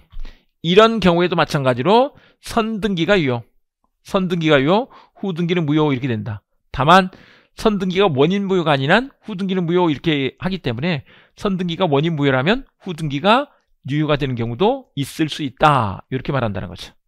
그래서 이렇게 좀 정리를 해두십니다. 어, 동일한 경우 선등기가 유효, 후등기는 무효. 네, 이렇게 말한다. 다른 경우 선등기가 원인 무효가 아니면 후등기는 무효. 즉 선등기가 유효 이렇게 된다고. 근데 여기서 중요한 건 뭐냐면 무효인 후등기에 기초해서 등기부 취득시효는 안 된다. 요 얘기인 거죠. 이제 나중에 또 소유권 편에서 공부하실 건데 등기부 취득시효에서 그 등기는 무효 등기라도 상관없어요. 그런데 무효인 후등기에 기초한 등기부 취득시효 이건 안 된대. 그런 뜻이에요. 무효인 후등기에 기초한 등기부 취득시효는 인정 안 된다. 이렇게 말한다. 네. 요거 봐주십니다. 그러면 아까 우리 이런 거 한번 생각해 볼까요? 갑이 이미 건물 지어서 보존 등기를 했는데 을이 또 보존 등기를 또 해버렸어. 그래도 선 등기가 유효, 후 등기는 무효 그랬잖아요. 그러면 을 명의로 등기가 갔어도 을이 소유권을 취득한 상태가 아니네. 그러면 이제 이때는 을이 만든 이중 등기 요거는 어, 폐쇄하고 다시 갑에서 을에게 이전 등기가 돼야지 소유권 취득하게 되는 거죠. 그런 뜻이다. 이 무효인 후등기에 기초해서 등기부 취득시효 이런 것들도 안 된다고 그 말인 것이다. 네. 이렇게 해두시고 그 다음에 이제 등기 실질적 요요권 그래서 여기서 중간 생략 등기 문제가 있는데 이 중간 생략 등기는 이런 거죠. 갑이 매도인, 을이 매수인, X 부동산 매매 계약을 맺었는데 미등기로 전매를 한 거예요. 사서 또 판 거예요. 전매. 근데 어, 이 을이 세금 포탈 위해서 세금 포탈, 취득세, 양도세 이런 걸 포탈하기 위해서 이렇게 중간 생략 등기를 하는 거죠. 을을 생략하고 바로 등기를 이렇게 바로 넘겨줘. 이게 중간 생략 등기가 된다. 근데 이런 것들을 나라에서 법으로 금지하죠. 부동산 등기 특별조치법에서 하지 마! 라고 규정을 해놨단 말이에요. 그런데 그 부동산 등기 특별조치법이 단속 규정이야. 단속 규정을 위반한 것이기 때문에 걸리면 제재를 받죠. 하지만 이루어진 거래 자체를 무효다 라고 하지는 않는다. 여기서 한 가지 어, 부동산 등기는 사실 다 지켜야 되는데 이게 현재의 권리 상태와 일치하면 굳이 무효라고 하지 않죠. 그래서 중간 생략 등이 이루어졌을 때 무효 아니다 이렇게 말한다. 그래서 이루어진 경우 유효야. 다만 이게 토지거래 허가 구역 내에서 이루어졌죠. 그때는 무효가 된다. 왜냐하면 어, 거래할 때마다 허가 하나씩을 이렇게 받아야 될 거 아니에요. 허가, 허가 이렇게 두 개를 받아야 되는데 어, 중간 생략 등기할 때는 마치 갑과 병이 거래한 것처럼 해서 이렇게 허가를 하나 받, 받을 거 아니에요. 그러면 이 두 개의 허가를 뭐 한 거예요? 배제, 잠탈한 거죠. 잠탈은 잠수 타서 탈법 행위를 한 거라고요. 배제 잠탈했어. 어, 이런 경우에는 이제 어, 토지거래 허가제를 위반한 것이기 때문에 무효가 된다. 중간 생략 등기에서 무효가 아니고 토지거래 허가제를 위반한 것이기 때문에 무효가 된다. 이런 뜻이다. 그런데 이제 한편 병이 갑한테 아직 등기가 되지 않은 상태인데 직접 등기 청구할 수 없을까? 이런 문제가 있어요. 그런데 여기는 3자 합의가 필요하다 이렇게 말한다. 3자 합의가 필요해. 어, 을이 갑한테 가는 등기청구권을 양도해서 하는 것은 안 돼. 어, 그때는 그냥 어, 병이 대위행사할 수밖에 없죠. 뭐냐면 봐보세요. 앞 시간에 우리 봤습니다만은 어, 앞에서 우리 봤습니다만은 을이 갑한테 등기청구권을 가져요. 이 등기청구권 채청으로 있어. 그 다음에 또 병이 을한테 등기청구권 갖고 있어. 이것도 채청으로 있다고요. 이렇게 있는데 채청은 을이 갑에게, 병이 을에게 행사할 수 있는 것이라고. 병이 을에게. 이렇게 하는 거지. 어, 요걸 다이렉트로 이렇게 할 수 있는 건 아니야. 3자 합의가 있어야 된다. 그러려면. 근데 을이 병한테 갑, 갑한테 갖고 있는 어, 등기청구를 양도해버리는 거. 이런 것도 안 돼. 왜냐면 아직 갑과 을 사이에서는 계산할 게 남아있어요. 그래서 이런 건 안 돼. 그때는 그냥 병이 대비행사할 수밖에 없다. 병은 어, 등기청구자는 최씨예요. 최씨는 최대비. 을이 어, 갑한테 등, 갖고 있는 등기청권 이걸 대신해서 행사하는 거죠. 그럼 이제 순차적으로 갑에서 을, 을에서 병 이렇게 이전이 돼서 결국 병이 수익권 취득할 수 있게 된다. 이렇게 되는 거예요. 자, 여기서 중간 생략 등기 합의가 이루어진 경우를 한번 생각해 보자고요. 매매 계약에 따른 또 이 전매까지 있었는데 각자 등기증권이 있는 거예요. 중간 생략 등기 합의가 있었대. 아, 그랬을 때 그렇다고 해서 을이 갑한테 가는 등기증권이 없어지는 거냐? 그런 건 아니다. 등기증권 소멸하는 것이 아니다. 이렇게 말한다. 그런데 갑의 을에 대한 대금 채권 행사도 제한될 게 아니야. 행사할 수 있어. 제한될 게 아니야. 따라서 최초 매도인은 갑이죠. 갑은 을의 대금 인상분의 미직 권리로 최종 양수인의 등기 청구를 거절할 수 있다. 삼자비가 있으니까 이제 의리 갑한테 등기 청구를 해오는 거예요. 근데 아직 의리 갑한테 준 돈이 아 돈을 다 준 게 아니야. 그랬을 때는 아, 거절할 수 있다 이 말인 거죠. 갑 입장에서 한번 생각을 해보세요. 갑 입장에서 어, 예를 들면 내가 10억에 팔았는데 그냥 몇 개월 만에 의리평한테 15억에 팔았대. 15억에 팔아서 5억을 남겨먹네? 근데 나한테 와가지고는 아, 야 직접 병한테 등기 좀 넘겨주면 안 되겠니? 그러면 내가 등기를 해줄 수가 있겠냐고요. 열받아서 화병 나서 못 해주죠. 그래서 이제 딜이 들어온 거예요. 딜이 들어와서 야 그러면 얼마 동안 올려주면 내가 협조해줄게. 어, 협의가 된 거죠. 인상 인상이 된 거예요. 근데 아직 입금이 안 되고 있어. 대금 미지급이야. 그랬 그랬는데 병이 막 등기 청구 등기 청구해 오는 거죠. 이랬을 때 거절할 수 있어야지 맞다. 이런 얘기인 거죠. 거절할 수 있어야지 맞다. 자, 전득자의 등기 취득 방법이 나와 있는데 병은 합의가 있을 때 직접 등기 청구할 수도 있어. 근데 또 채시니까 최대위도 가능하죠. 근데 합의가 없어. 그럴 때는 직접은 못하고 대비 행사할 수밖에 없다. 앞에서 나왔던 것을 다시 한번 더 이렇게 또 정리를 해드린 것입니다. 그 다음에 어, 우리 무효등기 유용 문제로 가셔서 봐보겠습니다. 표제부 등기 유용은 인정하지 않아. 무효야. 근데 상난 등기 유용 제3자가 없으면 그때부터 유효다 이렇게 말한다. 아, 이건 소급표가 없어. 이렇게 하는데 우리 무효등기 유용과 관련해서 건물이 헐리고 새로 건물이 지어졌단 말이에요. 근데 옛날 건물이 너무 예쁘고 마음에 들어서 옛날 설계도 그대로 지었대. 아주 그대로 지었어. 그랬을 때 옛날 있던 등기부를 그냥 그대로 쓸 수 있느냐 이 말이에요. 근데 그런 건 안 된다. 이런 걸 표제부 등기 유형이라고 하는데 안 된다 이렇게 말한다. 근데 상난 등기 유형 요건 인정이 되는데 예를 들면 이런 거예요. 어, 은행에서 대출 받고 저당권 설정해 주는데 빚을 다 갚았어요. 빚을 다 갚으면 앞서서 뭐라 그랬어요? 어, 채권이 소멸했기 때문에 저당권도 소멸하는 거죠. 우리 이제 물권법 수, 수업 들은 분들 대상으로 하자면 부정성이 있기 때문에 소멸하면 소멸한 거죠. 법적으로 소멸해버려서 이미 무효등기가 된 거죠. 그런데 그걸 그대로 내버려뒀다가 나중에 다시 또 돈을 빌리면서 옛날 그 저당권 등기부를 그대로 쓸 수 있겠느냐 이 말이에요. 그런데 그게 가능하다. 다만 제3자가 있으면 안 돼. 어, 제3자가 있으면 새치기 하는 꼴이 되기 때문에 제3자가 없을 때만 그게 인정된다 라고 한다. 됐죠. 그 다음에 실제와 다른 등기번일에 의한 등기가 있는데 요거는 어, 유효다 이렇게 됩니다. 이거 우리 앞에서 은닉행위로서 공부했어요. 가별한테 증여를 했는데 세금이 너무 무서우니까 매매를 가장해서 소유권 이전 등기를 해줬대. 가장 매매는 무효가 맞죠. 그러면 그 등기도 무효라고 해야 될 텐데 어쨌거나 증여를 통해서 다시 등기를 넘겨줄 건 맞잖아요. 그냥 그러면 굳이 그런 걸 무효라고 하지 말자. 유효라고 해주자. 이렇게 한다는 거죠.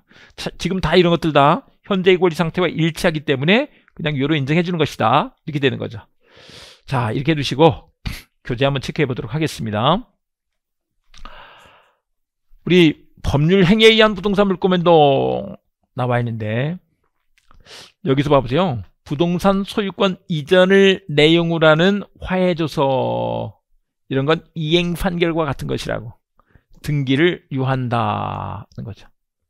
등기가 필요 없는 것은 형성 판결에서만 그래. 뭐 뭔가 조서 이런 것들도 판결이 된 판결과 같은 효력이 있긴 한데 형성 판결에서만 등기가 필요 없다고. 요 원리를 알아두시면 되죠. 그다음에 3번의 1번 법 매도인 갑이 신축한 무가 건물은 매수인에게 등기 없이 점유만 이전되더라도 을은 건물 소유권을 취득한다. 근데 여기서 봐보세요. 매수인을 그 말은 매매가 있었다는 거잖아요. 등기가 있어야지. 등기 없이 그러면 안 되는 거지. 그래서 틀린 설명이 되, 된다. 그 다음에 어, 법률 규정에 의한 부동산 물권 변동에서 1번 공유물 분할 판결에 의해 물권 변동율이 생기기 위해서는 등기를 필요로 한다. 공유물 분할 판결이 형성 판결이라고. 그래서 여기는 판결 확정 시에 물권 변동율이 생기죠. 등기가 필요가 없죠. 어, 이때 이행 판결이 아니고 뭐라고요? 형성 판결만을 말한다고. 확인 판결, 이행 판결은 그런 거 아니야. 형성 판결만 그렇다고. 네, 이렇게 받으시면 되겠고. 그 다음에 토지 소유자가 그 지상에 건물을 신축하는 경우 보존 등기를 하여야 건물의 소유권을 취득한다 라고 했는데 건물 신축은 법률 행위가 아니잖아요. 그러니까 보존 등기 필요가 없죠. 신축자가 이미 소유권을 취득해버린 거라 취득해버린다. 그 다음에 이제 법정갱신 이게 법정이잖아요. 그러면 등기 없이 없으면 등기가 없어도 대항할 수 있다 이렇게 돼야지 맞지. 법정은 법률 규정이다. 등기 필요 없어. 그 다음에 피의대 한보 채권이 소멸하더라도 저당권의 말소 등기가 있어야 저당권이 소멸한다 라고 했는데 어, 우리 채권이 소멸하면 이미 저당권을 소멸해버린다고 말소 등기하고 상관없어. 그래서 X 이렇게 되겠고 그 다음에 이제 등기청구권 문제에 나와 있는데 등기 청구권이란 등기 관리자와 등기무자가 함께 어, 등기를 신청하는 공법상의 권리다. 이게 등기 청구권에 관한 설명이 아니고 등기 신청권에 대한 설명인 거죠. 등기 신청권 이런 것이고 등기 청구권과 등기 신청권은 동일한 내용의 권리가 될 수가 없지. 다른 건데 등기 청구권은 사건이고 등기 신청권은 공권이잖아요. 등기 청구권과 등기 신청권은 달, 달라. 되겠고 그 다음에 교환으로 인한 이전 등기 청구권은 물권적 청구권이다 라고 했는데 여러분 교환 계약만 있었지 아직 소유권 취득한 게 아니죠. 그러니까 물권적일 수가 없지. 네, 틀렸다. 어, 채권적 청구권인 것이다. 매매로 인한 등기 청구권의 양도는 양도는 채무자는 통지만으로 대항력이 생긴다. 어, 등기 청구권의 양도가 안 된다니까요. 삼자 합의가 있어야 돼. 그래서 갑의 동의나 승낙이 필요한 거야. 통지만 가지고는 안 되는 거지. 네, 이 말인 것입니다. 그 다음에 점유취득시효 완성으로 인한 등기청구권이 발생한 경우인데 점유취득시효 완성으로 인한 등기청구권은 얘도 아직 소유권 취득하기 전이니까 채권적 청구권이 맞아요. 채권적 청구권이 맞다.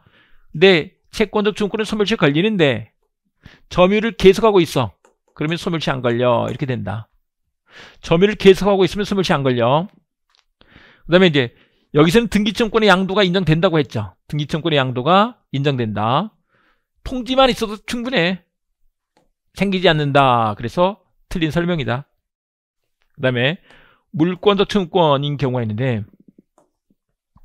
물권적 청구권 어, 갑이 을 명의로 근저당권을 설정한 자기 소유 부동산을 병에게 매도하고 소유권 이전 등기를 한 다음 갑이 피담 채권의 소멸을 이유로 을에게 근저당권 설정 등기 말소를 청구하는 경우 어, 법적 성질은 물권적 청구권이다 라고 했는데 갑은 현재 소유자가 아니잖아요. 물권적 청구권이 아닌 거지. 채청인 거지. 네, 이렇게 됩니다.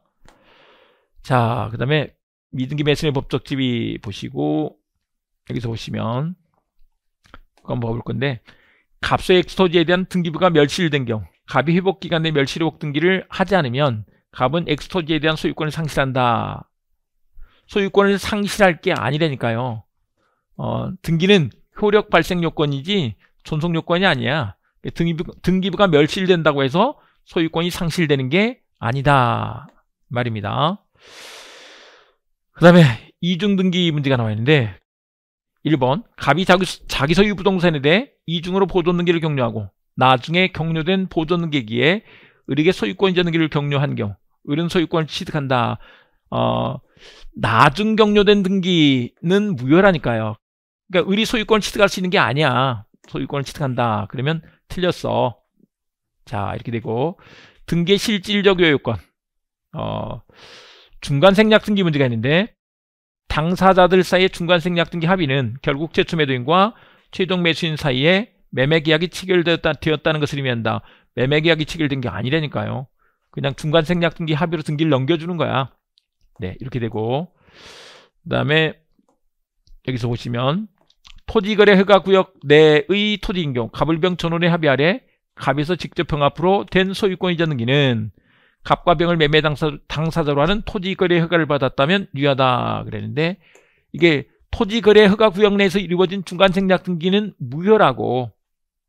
토지거래가를 배제 잠탈한 거라니까. 토지거래 허가제 위반이야 그래서 X 이렇게 되겠고 그 다음에 어 여기 3자 간에 중간 생략 등기 합의가 있으면 최초 매도인에 대한 중간자의 소유권 이전 기초권은 소멸한다 그랬는데 중간자의 소유권 이전 기초권이 소멸하는 게 아니라고 그냥 남아 있어. 네, 소멸한다. X다. 그 다음에 어 됐고 무효등기 이용 문제가 나와 있는데 어, 멸실된 건물의 보존등기를 멸실 후 신축한 건물의 보존등기로 유용하는 것도 허용된다. 이게 표제부 이용인데 그런 건 안 된다. 네, 표제부 이용은 인정하지 않아. 이렇게 된다. 어, 요거 우리 시험에도 되게 정답으로 많이 나와요. 감정평가사 기출지문을 소개해놨습니다만은 되게 많이 나온다. 그 다음에 이제, 어, 이 상란의 이용은 인정이 되는데, 제3자가 생긴 경우에도 허용된다. 그러면 안 돼. 제3자가 없을 때만 되는 거지. 제3자가 없을 때만 제3자가 나타나, 나타나 지 않는 한 제3자가 없어야만 상난 등기에 유용 인정된다. 이렇게 된다는 거죠. 네. 여기까지 좀 봐주시고 어, 부동산 등기를 다음 시간에 또 이어서 공부해 보도록 하겠습니다. 자, 계속해서 292페이지 부동산 등기, 특히 등기 효력, 먼저 등기 추정력이 나와 있는데 등기 추정력이라는 게 뭐냐면 이런 거예요. 예, 일단 추정력이 있는 등기와 관련해서 본등기, 권리의 등기에서 인정하는데 가등기나 사실의 등기에서는 인정하지 않는다. 네, 등기 추정력이 뭐냐면 이런 거예요. 예를 들면 갑에서 을에게 매매 계약을 원인으로 해서 이렇게 소유권 이전 등기가 됐어. 그러면 아 이런 거예요. 이게 진짠지 가짠지 모르겠지만 을명의로 이렇게 등기가 돼 있다 그러면 아 을 거겠지라고 이렇게 추정을 해준다고 을 거겠지라고 추정을 해준다. 네, 요게 등기의 추정력이에요. 추정은 미루어 짐작하는 거잖아요. 미루어 짐작하는 거라고. 그래서 그러겠지 이거지. 꼭 그렇다는 아니에요. 이럴 수도 있잖아요. 원래 갑건데 갑건데 을이 매매 계약서를 위조해서 등기를 가져갔어. 그런 경우는 가짜인 거잖아요. 그렇지만 어쨌거나 등기가 그렇게 됐다면 을 거겠지라고 이렇게 인정해 주는 것이라고. 이게 등기의 추정력이다. 근데 추정력 있는 등기는 본 등기에서 그렇고 가등기 같은 데는 인정하지 않아. 가등기는 가짜 등기라서 그렇다. 그리고 이제 본등기 되는 것들이 권리의 등기에서 그런데 갑구 을구에 있는 거죠. 갑구는 소유권, 을구는 제한물권. 그 다음에 사실 등기, 표제부 등기 이런 데서는 추정력이 있는 게 아니다. 이렇게 말한다. 이런 추정력이 있기 때문에 입증 책임이 전환되죠. 요 얘기는 뭐냐면 을이 4명으로 지금 등기가 됐잖아요. 근데 누가, 누가 시비 거는 사람이 있어. 그랬을 때, 아, 이거 내 거라니까! 라고 을이 증명할 필요가 없어. 안타까워 할 필요 없어. 아니, 내 거라니까 이럴, 이럴, 이럴 필요 없다고, 그냥. 어, 어쩌라고. 이렇게 하면 끝이야. 그걸 깨려고 하는 갑 또는 다른 사람이 증명을 해야지 되는 거지. 그리고, 그리고 또 한 가지가 등기를 신뢰한 양수인은 과실 없는 점유자로 인정된다. 이렇게 말한다. 과실 없는 점유자. 갑이 어, 원래 남의 건데 그거를 자기 명의로 등기를 바꾼 뒤에 점유를 하고 있어. 근데 을이 가서 샀단 말이에요. 근데 을 명의로 샀는데 어, 을이 샀는데 간 명의로 등기돼 있는 걸 믿고 샀네. 그걸 등기부를 봤더니 그렇게 돼 있어. 등기를 믿고 샀잖아요. 그 사람한테 야, 너 잘못했네. 너 과실이 있네. 이렇게 할 수는 없는 거 아니야. 그래서 과실 없는 점유자로 인정된다. 이런 것입니다. 그 다음에 이제 어, 추정력의 범위 문제가 있는데 우리 권원절대 추정력이 있다 이렇게 말한다. 권원절대의 추정력이 있어. 권원절대의 추정력이 있어. 이걸 차례대로 한번 봐보자고요.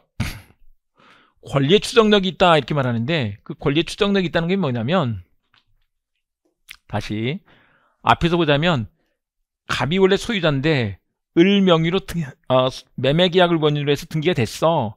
그러면 을이 소유자겠지라고 추정을 해준다고 그 말이에요. 근데 이제 저당권 등기가 있는 거예요. 여기서는. 저당권 등기가 있으면 저당권이 있겠지라고 추정이 된다고. 근데 저당권이 있으려면 모두 있어야 돼요. 채권도 있어야 되겠죠. 피담 채권의 존재도 추정된다는 것이다. 있겠지라고 추정되는 것이기 때문에 야 이거 내 거야. 내가 채권이 있어. 이런 걸 증명할 필요가 없다는 거죠. 그런데 어, 그게 있으려면 기본 계약의 존재가 있어야 되는데 기본 계약의 존재까지 추정되는 건 아니야. 기본 계약의 존재는 추정되는 것이 아니다. 이렇게 말한다. 됐죠? 어, 요게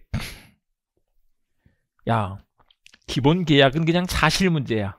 그래서 그런 계약이 있다까지 추정되는 건 아니야. 그 다음에 원인에 있어 추정력을 인정해줘요. 원인인데 소유권 이전 등기가 됐다면 그 사람이 승계 취득을 했겠지라고 추정을 해주는 거죠. 보존 등기가 됐으면 원시 취득했겠지라고 추정을 해준다고. 예를 들면 매매를 원인으로 소유권 이전 등기가 됐어. 특정 승계를 한 거죠. 상속 등기가 됐어. 포괄 승계를 한 거죠. 그 원인이 있겠지라고 추정을 해준다고. 매매가 있었겠지, 상속이 있었겠지라고 추정을 해준다고. 건물을 지어서 보존 등기를 했겠지라고 추정을 해준다고. 보존 등기한 사람은 원시 취득을 한 거죠. 네, 그 말인 것이다. 근데 등기 원인행, 원인행위에 태양이나 과정을 다소 다르게 주장한다고 해서 등기 추정력이 깨지는 것은 아니다. 태양은 모습 이런 뜻이야. 등기 원인행의 태양이나 과정을 좀 다, 다소 다르게 주장을 해. 그렇다고 해서 등기 추정력이 깨지는 것은 아니다. 얼른 보면 이게 잘 이해가 안 돼요. 어, 아니 좀 이상한 소리 하면 깨지는 거 아니야? 이렇게 생각하기 쉬운데 이걸 좀 알아보시 이걸 보시면 좀 쉽다. 여러분 우리 뉴스에서 많이 보시는 것 중에 무죄 추정의 원칙이라는 게 있죠. 무죄 추정의 원칙이 있다. 어, 무죄 추정의 원칙이 뭐예요? 무죄 추정의 원칙은 이게 그 사람이 아무리 죄 있어 보여도 죄 없겠지라고 추정이 된다고. 죄 없겠지라고 추정이 된다고. 그러니까 어, 피의자 내지는 피고인은 형사 사건에서 피의자 내지 피고인은 아 내가 한 게 아니에요 라고 증명할 필요가 없다고. 그러니까 그건 누가 증명을 해야 되느냐? 그 사람 교도소 보낼 사람 검사가 이 사람이 뭐 뭐 뭐 해서 죄 지은 거거든요? 라고 증명을 해서 교도소를 보내는 거예요. 됐죠? 그런 것이기 때문에 근데 가다 보면 이제 또 그 피의자 뭐 내지는 피고인이 횡설수설할 수 있겠죠. 그렇다고 해서 추정이 깨지는 건 아니야. 보낼 사람이 확실하게 이 사람이 죄를 지은 거 맞아요. 라고 증명해야 보낼 수 있어. 이 말인 거예요. 여기서도 마찬가지. 좀 이상한 소리를 해. 그렇다고 추정력이 깨지는 건 아니라고. 뭐. 그 다음에 절차. 어, 등기 절차 제대로 됐겠지. 부동산 등기법이 정하는 절차 제대로 지켰겠지. 또 한 가지. 예를 들면 뭐 토지거래허가 구역내라면 토지거래허가 받았겠지. 그게 농지라면 농지 취득 자격 증명 제대로 받았겠지. 라고 어, 이렇게 절차도 다 갖췄겠지라고 추정이 된다고. 그래서 소유권 이전 등기 치, 어, 최종 명의는 적법한 권리자로 추정된다. 소유권 이전 등기의 최종 명의는 적법한 권리자로 추정된다라고 한다. 그 다음에 이제 대리권도 있다고 추정을 해줘. 어, 대리권도 있다라고 추정이 된다. 본인에게 대리권 부존재의 증명 책임이 있다는 것인데 예를 들면 우리 이제 대리 같으면 이런 식으로 그림이 그려지죠. 을이 갑의 대리인으로서 어, 매매 계약을 맺고 등기를 넘겨줬어. 물론 등기는 갑에서 을에게 이렇게 넘어간 거지. 이렇게 등기가 됐단 말이야. 근데 그러려면 을한테 대리권이 있어야 될 거 아니에요. 대리권이 없으면 안 되지. 근데 어쨌거나 이렇게 갑에서 병이한테 등기가 됐다는 것은 이 사람이 대리권 갖고 했겠지라고 추정을 해준다니까. 그러니까 어, 나중에 이게 무권 대리면 무효가 될 거니까 등기 말소를 청구할 거 아니에요. 그때 갑이 을한테 대리권 내가 준 적 없어 라고 증명을 해야 된다고. 을이 대리냐 대리권이 있어 를 병이 증명할 필요가 없다고. 이해됐죠? 그 말인 것이다. 대리권 부존재 증명 책임은 본인에게 있는 것이다. 권원절대의 추정력을 인정한다. 권원절대라고 했는데 권원절대 이렇게 기억을 해두시면 되겠다. 그 다음에 또 한 가지 인적 범위에서 제3자는 물론 권리 변동의 당사자에게도 주장할 수 있다. 네, 이렇게 말하는데 이게 무슨 말이냐 그러면 이거 한번 봐보자고요. 우리 예를 들면 갑에서 을으로 X매매 계약을 맺고 이렇게 등기가 넘어가 있대 이 말이에요. 을명으로 등기가 돼 있다면 여기서 다른 사람 제3자가 만약에 예를 들면, 예를 들면 10일 건다고 생각을 해보자고요. 제3자가 10일 걸어. 그랬을 때 어, 을이 아 이거 내 건데 막 구구절절 설명하거나 이럴 필요가 없다는 거죠. 그냥 나는 추정을 받고 있어.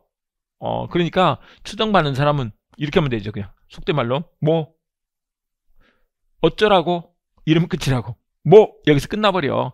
아이 왜 그래 뭐 이런 이런 거 할 필요 없어. 그냥 뭐 그러면 끝이라고. 12건은 제3자가 너 그거 가짜잖아. 아니면 이게 이 등기 무효잖아를 주장하면서 증명을 해야 된다고. 근데 그거를 또 제3자가 11건에 아 전 소유자가 11건에 이랬을 때도 마찬가지로 어 뭐 하면 되지. 야 왜 그래 이런 말 할 필요가 없다고. 권리 변동의 당사자, 전소유자, 전소유자 이렇게 시험 문제가 나올 때도 있고 권리 변동의 당사자 이렇게 나올 때도 있어요. 두 가지를 같이 알아두십니다. 아, 그때도 주장할 수 있다 이렇게 말한다. 그런데 이게 어, 등기 추정력은 등기 명인 제3자도 등기 명인은 물론이고 제3자도 주장할 수 있어. 근데 이익 불이익을 다 주장할 수 있다 이렇게 말한다. 이익 불이익을 주장할 수 있어. 자 이렇게 두시고 그 다음에 이제 추정력의 복멸 문제가 있는데 추정력의 복멸과 관련해서 복멸이란 말이 좀 어렵죠. 근데 복은 이게 뒤집는 거예요. 멸은 없어지는 거고 뒤집는데 그거 잘 모르, 모르겠으면 배가 전복됐다 이런 표현 쓰죠. 배가 뒤집어졌잖아요. 예. 그러니까 이 등기 추정력이 뒤집어졌어. 그리고 멸 없어졌어. 예. 뒤집어 뒤집어지면서 없어진 거야. 근데 어, 언제 복멸이 될 거냐 이, 이 말이에요. 소유권이 전등게 되는데 그게 계약서가 위조됐대. 그러면 그건 뭐야? 계약서 계약서가 위조되면 그 등기는 무효겠네. 진정하지 않은 것. 어 근데 우리 또 팔 표현이 진정하지 않은 것 이렇게 표현을 하고 있단 말이에요. 간단히 말하면 위조지. 보세요. 갑에서 을로 이렇게 매매 계약을 맺고 그 다음에 이렇게 등기가 넘어갔는데 이 매매 계약서가 매매 계약서가 위조됐대 진정하지 않은 것으로 증명이 됐대 그러면 야 이건 뭐 맞지 뭐 가짜지 뭐 그러니까 추정력 깨지는 게 맞지 매매 계약서가 위조됐으니까 야 이건 무효야 등기도 무효가 되는 거지 야이 이 등기는 가짜야 이렇게 되는 거죠 또 한 가지가 사자나 허무인의 등기 신청 같은 게 그래요. 여기서 사자는 사망자를 말해요. 죽은 사람이 등기 신청을 했대. 또 허무인이 등기 신청을 했대. 어떻게 죽은 사람이 등기 신청할 수 있냐고요? 죽은 사람이 잠시 일어나 등기 신청할 수 있나? 말도 안 되지. 허무인, 허무인은 가공인물을 말한다고. 비를 헛자 없을 묻자. 세상에 없는 사람이 어떻게 등기 신청을 하냐고요. 있을 수가 없지. 그렇다면 그건 가짜가 맞네. 이 말인 거죠. 그런데 사망 전에 등기번이 있었다. 그러면 추정력을 인정해 준다. 사망 전에 등기번이 있었다. 이 말은 뭐냐면 어, 갑이 죽기 전에 매매 계약을 맺었었대 이 말이에요. 매매 계약을 맺었는데 등기가 지금 죽은 후에 넘어갔다네. 그러면 그 자식들이 등기해 줬겠지. 그런 걸 이제 우리 상속인에 의한 등기라고 하죠. 상속인에 의한 등기가 이루어졌겠지. 라고 이렇게 추정이 되는 거지. 이 말인 거죠. 그 다음에 이제 보존 등기. 보존 등기는 그 사람이 지었다고 추정을 해주는 거잖아요. 근데 그 사람이 지, 지은 게 아닌 게 증명이 됐어. 그러면 추정력은 깨지는 거지. 보존 등기는 그 사람이 지어서 보존 등기를 한 거란 말이에요. 그래서 그 사람이 지은 것만 추정을 해줘. 근데 그 사람이 지은 게 아닌 게 증명이 됐네? 그럼 추정력 깨지는 거지. 없어지는 게 맞지. 이 말인 거죠. 또 보존 등기 명의자가 부동산 부동산 양수장하고 전소유자는 양도 사실 부인하는 경우 어, 이런 경우에는 봐보세요. 보존 등기가 돼 있잖아요. 근데 양수를 주장한데 양수는 보존 등기로 추정되는 게 아니잖아요. 그러니까 요거 자체가 이미 어, 추정력이 인정될 수 없는 거지. 이런 경우에는 전소유자는 근데 전소유자가 양도 사실 부인하면 그걸로 끝이야. 네가 가짜로 한 거잖아. 까지 증명할 필요가 없다 이 말인 거죠. 그때 을은 어떻게 되느냐? 아이 왜 그래? 우리 여기 계약서 있잖아. 등을 증명을 해야지 소유권 방어가 된다. 이런 뜻이에요. 이걸 잠깐 좀 설명을 좀 드리고 하자면 이제 이렇게 한번 봐볼 수 봐볼 수 있는데 봐보세요.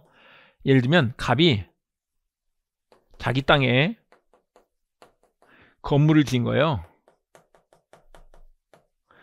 건물 신축하는 것은 이제 우리 앞 시간에 공부했던 것들을 이제 종합해서 한번 보는 겁니다. 건물을 신축하는 것은 법률행위가 아니기 때문에 보존 등기가 필요가 없죠. 등기하지 않고도 어, 갑소유가 맞아. 그런데 이거를 팔려면 처분하려면 뭘 해야 돼? 처분하려면 어, 보존 등기 먼저 해야 돼 이 말이에요.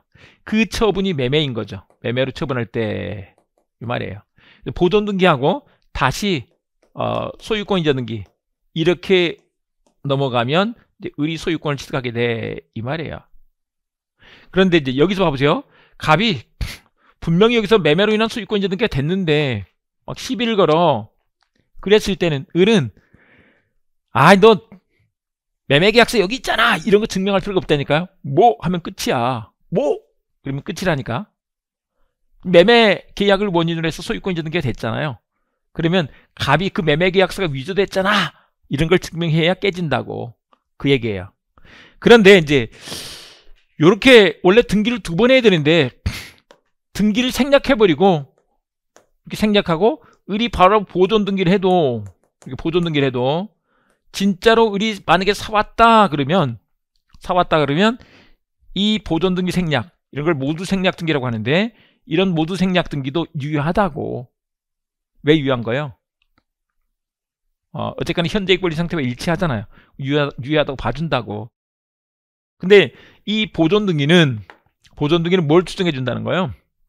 보존 등기는 어, 그 사람이 원시 취득한 거, 그, 그 사람이 지은 걸 추정해 준단 말이에요. 지은 걸 추정해 주는데 어 갑이 내가 너한테 판 적 없는데 이렇게 나와 버려. 이렇게 나와. 그러면 보존 등기 가지고는 매매가 추정되는 건 아니잖아요. 부인해 버렸어. 그러면 이제 을이 어, 너한테 사왔다는 걸 증명해야 돼. 그러니까 그때는 스토리가 이렇게 된다. 아, 왜 그래? 여기 매매 계약서 있잖아. 이렇게 가야지 된다고. 보존 등기는 을이 지은 걸 추정해 주니까 매매가 추정되지는 않아. 그 10일 검, 10일을 걸면 그때 이제 매매 계약서까지 다 드러내서 어, 준비해서 증명을 해야지 방어가 가능하다고 이 말입니다. 잘 봐주시라고. 아, 보존 등기는 그 사람이 지은 걸 추정해줘. 그러니까 양수를 주장하면 추정력이 인정될 수가 없는 거지. 네, 이렇게 되고 그 다음에 이제 가등기 효력 문제가 있습니다. 가등기 효력. 가등기 효력은 뭐냐면 네, 이런 얘기입니다. 가등기로 보존되는 청구권이 있는데 일단 이거 한번 생각해 보자고요. 가등기는 뭐 하려고 하는 거예요? 앞으로 분등기 하려고 하는 거죠. 근데 우리가 여기서 공부하는 건 청구권 보존의 가등기를 말해요. 청구권 보존의 가등기. 이 보존 가등기 여러분 공시법 시간에 열심히 공부했잖아요. 예, 공시법이 나오는 얘기다. 그 다음에 이제 우리 민사특별법에서 담보 가등기 공부했죠. 담보 가등기도 따로 있어. 지금 여기서는 청구권 보존의 가등기를 공부하는 거예요. 원래 청구권 보존의 가등기만 있는데 그걸 그걸 담보 목적으로 변칙적으로 이용하는 것이 담보 가등기예요. 네, 어쨌거나 보존가등기. 근데 이 가등기는 뭐 하려고 하느냐 이 말인가요? 어, 앞으로 본등기 하려고 하는 거잖아요. 근데 본등기가 필요한 청구권이 뭐야? 네. 이게 청구권 보존이 가등기 된다는 거죠. 채권적 청구권을 보존하기 위해서 하는 거야. 물권적 청구권을 보존하기 위한 가등기 이런 건 있을 수가 없지. 근데 물권적 청구권이 있다는 얘기는 뭐예요? 이미 본등기가 돼 있다는 얘기잖아요. 그러니까 어, 이 가등기 이런 게 필요한 게 아닌 거지. 네. 물권적 청구권을 보존하기 위한 가등기 이런 건 필요 없다고요. 청구권이면 시기부, 정지조건부 이런 거 안 따져. 시기부 또는 정지조건부라도 할 수 있다고. 앞으로 본등기 하려고 하는 것이다. 그러니까 아 물권적 청구권을 보존하기 위한 가등기는 필요가 없네. 근데 이렇게 한번 생각해 볼까요?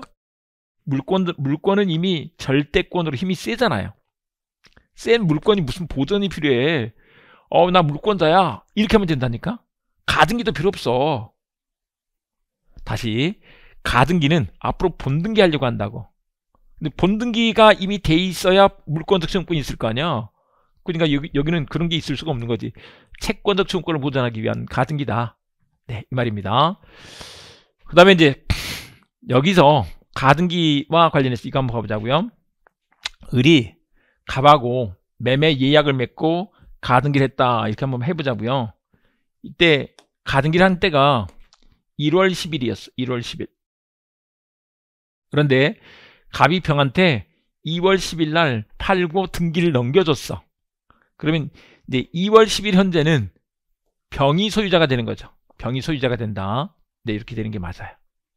그런데 이걸 나중에 가등기에서 본등기를 3월 10일 날 하는 거예요. 그러면 병이 소유권을 취득하게 된다는 것이다. 근데 이제 이걸 한번 생각해 보셔야 돼요. 우리가 앞에서 어, 물권의 효력에서 우선적 효력을 공부했는데 물권은 먼저 성립한 게 우선한다 그랬잖아요. 그렇게 치면 2월 10일에 병의 등기와 3월 10일에 의뢰 등기가 병의 등기가 먼저 됐으니까 병이 우선하는 것이다 이렇게 봐야 될 거 아니에요. 병이 먼저 을은 소유자가 아닌 거지 이렇게 봐야지 맞죠. 어, 요게 맞는데 그 원칙을 깨고자 가등기를 미리 해둔 거야. 그래서 가등기를 제가 이해하기 쉽게 번호표라고 한다. 가등기에 기에서 본등기가 되면 이미 번호표를 뽑아놓은 거나 마찬가지다. 이런 걸 이제 순위 보존의 효력이 있다. 이렇게 표현한다. 순위 보존의 효력이 있어. 가등기는 가등기 자체만은 아무런 힘이 없어요. 그야말로 가가 거짓 가짜예요. 거짓말 등기야. 없는 거나 마찬가지라고. 가짜 등기야. 예. 거짓 가짜다. 그냥 임시적으로 해둔 등기인 거죠. 그때 그 가는 임시적 이런 뜻이기도 합니다. 네, 그런 가등기이기 때문에 가등기 자체로는 아무런 힘이 없지만 뭐 추정력도 없고 어, 물권적 채권권 행사 이런 것들도 안 돼요. 그런데 이제 나중에 본등기를 하면 번호표 뽑아둔 것처럼 순위 보존의 효력이 있다 이렇게 말한다. 그래서 어, 가등기 자체의 효력은 없어. 실질법상 효력이 없다고. 물권적 채권권 이런 거 안 되고 어, 추정력 이런 거 없어. 근데 나중에 본등기 후에는 순위 보존의 효력이 있다. 이렇게 한다는 거죠. 그러니까 순위만 어, 의뢰 순위를 1월 10일에 가등기를 기준으로 하는 거지. 1월 10일에 가등기를 기준으로 한다. 네, 이렇게 돼요.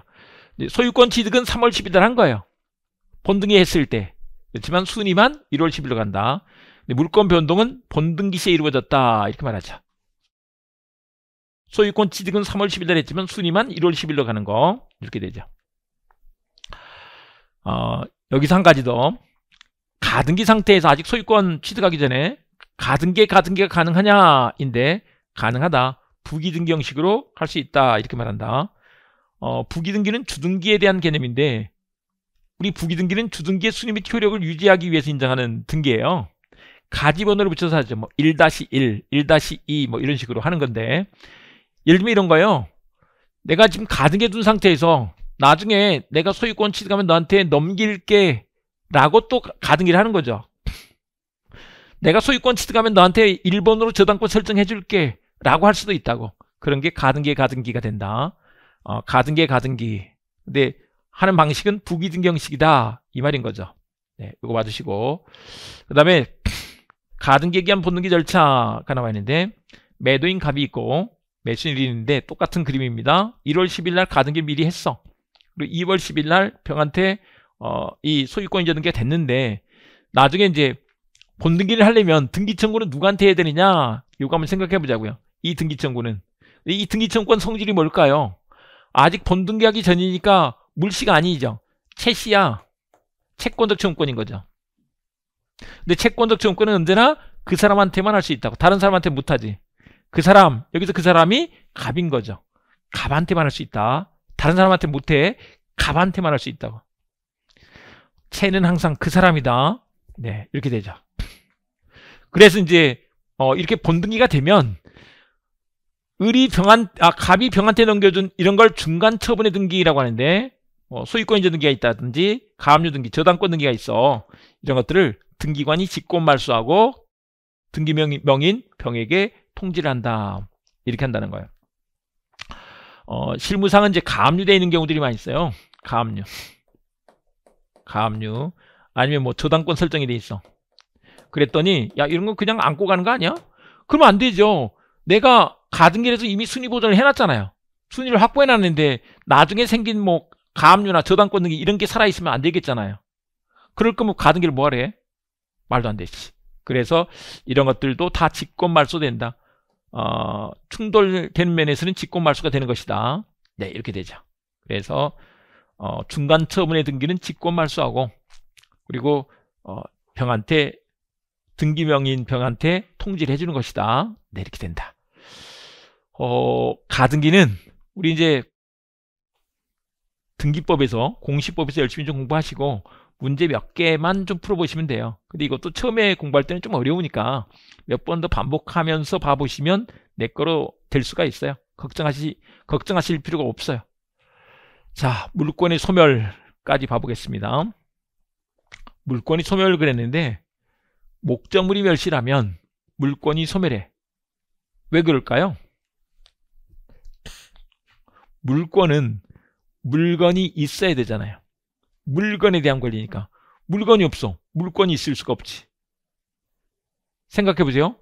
여러분들이 지금 볼펜을 손에 쥐고 있어요. 볼펜이란 물건에 대한 소유권을 갖고 있는 거죠. 근데 그 볼펜이 불에 타버렸어. 볼펜이란 물건이 없어졌잖아요. 소유권 없어지는 거지. 똑같죠. 그 다음에 이제 한 가지 더. 어, 그 중에 토지의 포락이라는 게 있다. 그러면 종전 소유권이 상실되는데 그래서 포락을 제가 한문으로 좀 써놨죠.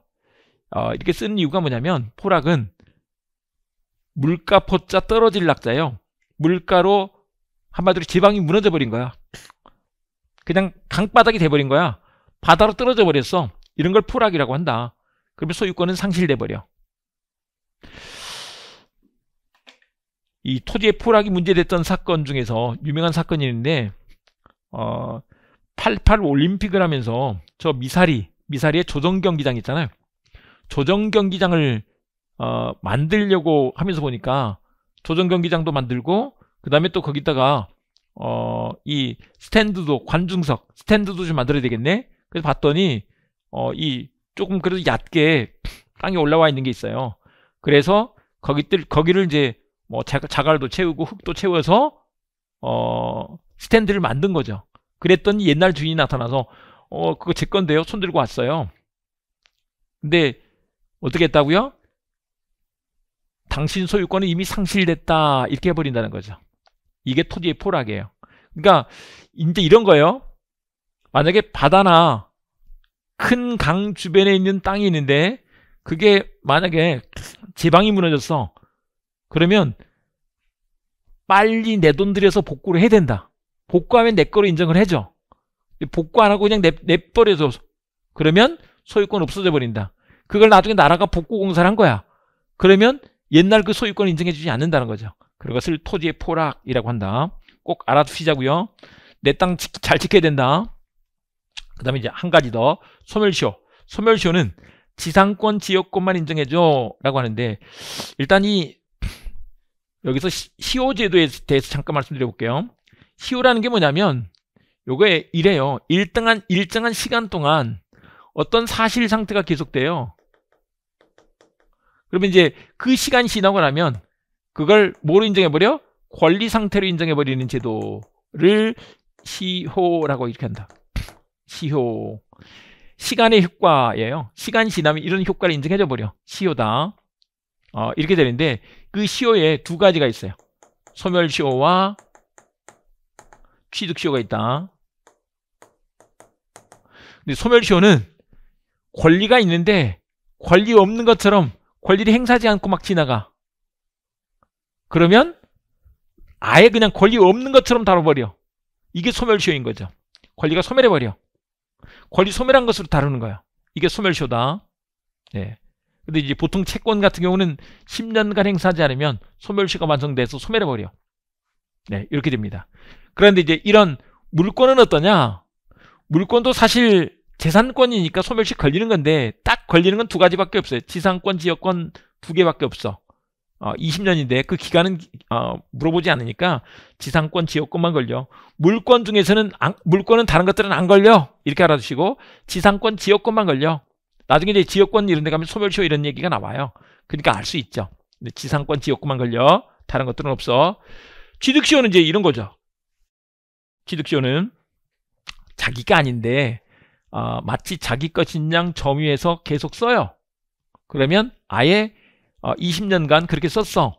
그러면 네 거로 인정해줘 버려. 그 사람 거로 인정해줘 버려. 아, 등기함으로 소유권 취득할 수 있도록 해주는 것입니다. 이런 게 취득시효인 거죠. 어, 됐죠.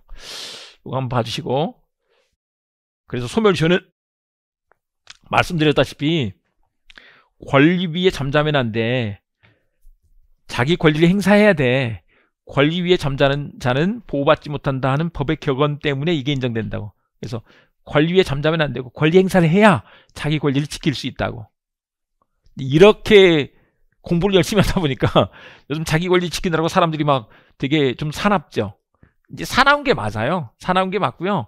어, 남, 남의 거 침해하면 안 되지. 그러니까 자기 권리를 지키는 걸 가지고 뭐라고 하면 안 된다. 당연한 권리니까 인정해줘야죠. 자, 이렇게 드시고. 그 다음에 한 가지 더. 우리 이제 물권의 포기. 물권의 포기 그랬는데 여기는 등기가 필요해 이렇게 써놨네요. 왜 필요할까? 우리가 이거 했죠. 동철이가 상추에 취해 채무 면자고 포기했어. 상대방 있는 단독행위. 유죄 상소. 유언 재단법인 설립행위, 상속의 포기, 소유권 포기. 상대방 없는 단독행위. 어쨌거나 포기는 단독행위네. 있든 없든 간에. 있는 단독행위, 없는 단독행위. 단독행위는 법률행위잖아요. 그러니까 등기가 필요한 거지. 부동산 물권 변동이 되는데 법률행위에 의한 변동이야. 그러면 등기가 필요하다고. 어, 등기가 필요하다. 근데 제한 물권 포기 같은 것은 상대방 있는 단독행위. 이게 주인한테 포기를 할 거 아니에요. 상대방 있는 단독행위. 소유권 포기는 어, 상대방 없는 단독행위가 되죠. 그러니까 어, 등기는 필요한 거야. 이렇게 된다. 그런데 그 다음에 이제 그 외에 공유 지분 포기, 합의 지분 포기. 이것도 다른 공유자한테, 다른 합의자한테 포기하는 거죠. 그러니까 상대방 있는 단독행위가 되죠. 그래서 등기가 필요하다. 이렇게 되는 것이다. 예, 이렇게 봐두시고. 그 다음에 이제 혼동에 대해서 봐보겠습니다. 혼동. 혼동이 뭐냐면, 일단 이제 이거 좀 봐보겠습니다. 혼이 혼합된 거예요. 동일한 사람한테. 혼동. 섞인 거예요. 봐보세요. 저한테 호주머니 속에, 호주머니 속에 지상권이 들어있어. 근데 소유권이 내 호주머니에 들어오네? 그러면 이 호주머니 속에서, 어, 본래 있던 지상권하고 소유권이 섞이잖아요. 혼합이 됐어. 동일한 사람한테 들어와서. 같은 사람한테 들어와서. 이게 혼동이다. 근데 이제 생각을 해보세요. 소유권 속에는 이미 사용수익 처분할 수 있는 권리가 있잖아요. 지상권. 얘는 토지 사용권인데 그게 따로 있을 필요가 없잖아요. 그러니까 얘는 필요가 없어. 소멸해, 소멸해버려. 이렇게 되는 것이라고. 한편 이렇게 생각을 해보세요. 어, 제한 물권은 타 물권인데 지상권, 전세권 이런 거 제한 물권이잖아요. 저당권, 어, 타 물권인데 이게 자기 게 됐어. 자기 걸 자기가 뭐하러 빌렸어? 필요 없는 거지. 그래서 그 작은 제한 물권은 소멸시켜 버려 이렇게 되는 것이다. 갑이 소유권을 갖고 있는데 을이 지상권을 가지게 됐어요. 그런데 을이 소유권을 취득하게 됐어. 그러면 이 지상권은 필요 없다 이 말인 거죠. 을한테 들어와서 소유권과 지상권이 섞였어. 혼, 동. 그러면 지상권은 소멸한다는 것이다. 근데 여기서 소멸하는데 등기가 필요할까 필요 없을까? 우리가 앞에서 공부했죠. 혼동은 등기가 필요 없다 이렇게 공부했습니다. 왜 필요 없을까? 혼동 자체가 법률 행위가 아니니까 그렇죠. 갑이 소유권을 취득하는데 어, 상속받았을 수도 있고요. 매매로 샀을 수도 있죠. 아니면 증여를 받았을 수도 있죠. 근데 매매로 샀는지 상속받았는지를 따지는 게 아니에요. 혼동은 그냥 섞인 걸 보는 거야. 섞인 건 법률 행위가 아니라고. 그러니까 등기 없이 소멸하는 거죠. 등기 없이 소멸한다. 네, 이렇게 되죠. 근데 한편 봐보세요. 의뢰 지상권이 있는데 우리 앞서서 공부했죠. 저당권은 부동산에 설정하는 거지만 지상권, 전세권에 저당권 설정할 수도 있다 그랬죠. 그래서 만약에 여기서 을의 지상권이 병의 저당권이 있다고 생각해 보자고요. 근데 을이 소유권을 취득했어. 그랬을 때 혼동으로 소멸해버리면 아니 뭐야? 이 지상권이 소멸하면 안 되겠네. 저당권은 이 지상권이 있어야 있는 건데 이게 없어져 버리면 안 되겠잖아요. 그래서 이때는 소멸하지 않는다. 이렇게 될 건데 여기서 좀 신파를 해볼게요. 어, 혼동이 되면 지상권은 죽어. 근데 여기에 딸린 애가 있어. 그러면 못 죽어. 이렇게 된다. 어, 요즘 엄마들은 그런 얘기 안 하는데 옛날 엄마들, 우리 엄마들은 옛날에 막 좀 힘들고 그러면 아이 내가 못 살아. 막 이런 얘기 많이 했어요. 근데 내가 못 살아. 그러면 죽는다는 얘기잖아요. 근데 너 때문에 못 죽어. 이렇게 많이 하죠. 너, 너가 누구야? 딸린 애가 있잖아요. 딸린 애가 있는데 어떻게 죽어, 엄마가. 자, 혼동은 죽어, 딸린 애가 있으면 못 죽어. 이렇게 알아두시면 된다. 죽어, 못 죽어. 딸린 애가 있으면 죽어, 딸린 애가 있으면 못 죽어. 이렇게 된다. 한 가지 더. 갑이 소유권을 갖고 있는데 을이 저당권을 갖고 있는 거예요. 근데 봐보세요. 을이 만약에 여기서 소유권을 취득했어. 그러면 소유권과 저당권이 같이 혼, 혼합이 됐잖아요. 동일한 사람한테. 그러면 저당권 죽어. 내 부동산에 내가 저당권을 갖고 있는 게 무슨 의미가 있냐고요. 쓸데없지. 됐죠? 이거 맞다. 혼동으로 죽어. 그런데 거기에 만약에 2번 저당권이 있다고 보자고요. 2번 저당권. 근데 만약에 내가 죽어버리면 내가 죽어버리면 얘가 1번 되고 나는 없어져. 병은 좋겠지만 나는 열받네? 근데 이를테면 이제 조금 더 이론적으로 설명드리면 나중에 경매될지라도 내가 1번 저당권을 갖고 있, 었으니까 그 부동산 경매, 내 집이 지금 경매된 거예요? 그래도 거기서 내가 1번으로 배당받을 필요가 있네. 그러니까 죽으면 안 되지. 본인의 이익을 위해서. 네. 요렇게 해두신다. 근데 시험용으로는 이렇게 하시면 돼요. 시험용으로는 이제 재밌게 해볼게 또, 재밌게 해볼게요. 내가 first예요. first인데, 뒤에 세컨드가 있어. 근데 만약에 내가 소유권 취득해서 죽어버리면 뭐만 좋아져? 세컨드만 좋아져. 나는 죽고 그러면 되겠냐고요. 안 되지. 그래서 세컨드가 있으면 못 죽어 이렇게 된다. 세컨드가 있으면 이것도 이제 신파로 가면 이렇게 된다. 본처에 을이 본처예요. first 본처인데 세컨드가 있어. 근데 내가 죽으면 그 세컨드가 지금 우리 집 차고 들어오게 생겼다니까? 말이 돼요? 말 안 되지. 그래서 안 된다. 이럴 때 이렇게 하시면 된다. 그래서 혼동은 죽어. 그런데 딸린 애가 있어. 세컨드가 있어. 그러면 못 죽어. 이렇게 된다. 됐죠? 근데 한편 이렇게 한번 생각해 보자고. 만약에 병이 소유권을 취득했어. 여기도 혼, 동이 됐잖아요. 그러면 죽어. 저당권 죽는다고. 뒤에 서드가 있지 않는 한은 억울할 게 없잖아요. 억울할 게 없어. 죽어. 이렇게 된다. 그래서 을이 소유권을 취득하면 저당권은 소멸하지 않는데 병이 소유권을 취득하면 저당권은 소멸한다. 그래서 이거 항상 뒤에 뭐가 따라오는지를 봐야 돼요. 딸린 애가 있어? 못 죽어. 세컨드가 있어? 못 죽어. 근데 뒤에 third가 있다면 못 죽겠죠. 또 여기도. 그러니까 뒤에 뭐가 어, 세컨드가 있는지 third가 있는지 이걸 봐야 된다 이 말입니다. 그 다음에 이제 제한물권과 그 제한물권을 목적으로 하는 권리 혼동 이렇게 하는데 을의 지상권에 병이 저당권을 갖고 있는 경우 어 요건 뭐냐면 우리 이제 의리 지상권을 갖고 있는데 병이 저당권을 갖게 됐어요. 근데 이거 봐보세요. 병이 만약에 지상권을 취득했어. 그러면 내 지상권이 내가 저당권 갖고 있는 게 무슨 의미가 있냐고요. 저당권은 소멸하지. 똑같아. 그래서 병이 지상권을 취득하면 병의 저당권이 소멸한다고. 그런데 이거 여기서도 마찬가지예요. 딸린 애가 있어. 세컨드가 있어. 그러면 못 죽어 이렇게 된다. 요거는 세컨드가 있어. 딸린 애가 있어. 이런 뜻이에요. 그러면 못 죽어 이렇게 된다.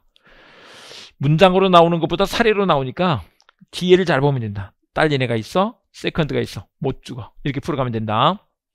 자, 근데 혼동에 의하여 소멸하지 않는 권리가 있는데 여기에 점유권, 광업권이 있다. 어, 이제 우리 시험에서는 주로 점유권이 나와요. 그 얘기가 뭐냐면 점유권을 갖고 있는데 내가 소유권까지 갖게 됐어. 그럼 점유권과 소유권이 다 있는 거지. 점유권 없어지고 소유권만 있는 게 아니라고. 점유권을 혼동으로 소멸하는 권리가 아니라고. 됐죠?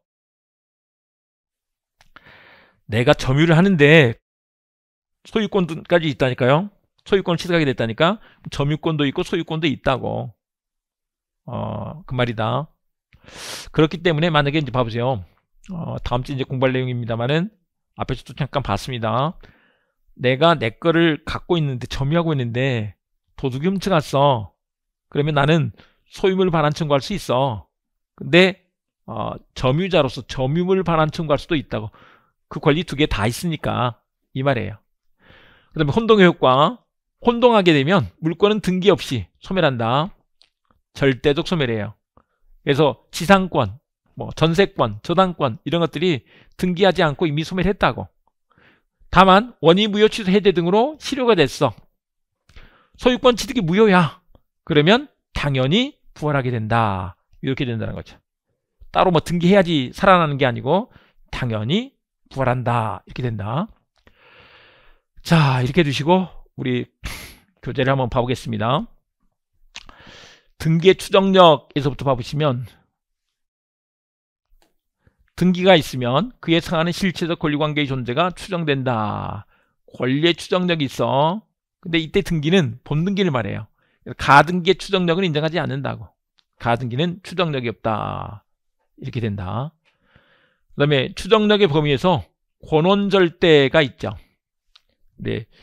권리의 적법이 추정이 되는데 저당권 등기가 있을 때 피담보 채권의 존재가 추정이 되지만 어, 기본 계약의 존재까지 추정되는 건 아니라고. 기본 계약의 존재까지 추정되는 것은 아니다. 네. 그래서 틀린 지문이 된 거죠.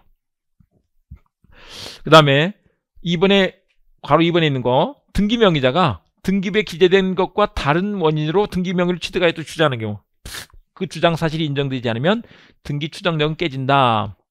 좀 딴 얘기라는 거예요. 딴 얘기를. 그래도 등기 추정력이 깨지는 게 아니라고. 깨지는 게 아니다. 어, 그걸 상대방이 야 너 그거 아니잖아. 이걸 증명해야지 깨지는 거지. 그냥 깨지는 게 아니야. 네 이렇게 되고 그 다음에 대리권도 있다고 추정되는 것까지 쭉 나와 있고 그 다음에 등기 추정력과 관련해서 6번에 등기부상 권리배동의 당사자 사이에서는 등기의 추정력을 원용할 수 없다 그랬는데 당사자 사이에서도 등기 추정력을 원용할 수 있다. 추정력을 주장할 수 있다. 라고 한다고. 뭐 하면 된다니까? 예. 전 소유자에 대해서 전 소유자에 대해서도 추정력이 있다. 이 말인 것이다. 그 다음에 어, 계약서가 진정하지 않은 것으로 증명이 됐어. 그러면 추정력은 깨지는 거지. 또 다른 등기원이 있을 것으로 추정될 것이 아니라는 거죠. 아, 매매 계약서가 위조됐다며요. 그럼 추정력 깨지는 게 맞지. 이 말인 거죠. 네, 이렇게 되겠고. 그 다음에, 나머지, 시면, 2번에 봐보세요. 어, 건물의, 건물 소유권 보존등기 명의자가 전 소유자로부터 그 건물을 양수하였다고 주장하는 경우. 전 소유자가 양도 사실 부인하더라도 보존등기 추정력은 깨지지 않는다. 보존등기는 그 사람이 지었다는 걸 추정해 준단 말이에요. 근데 건물 양수를 주장하고 있네? 그러면 이미 추정력이 여기에 작동을 하지 않는단 말이에요.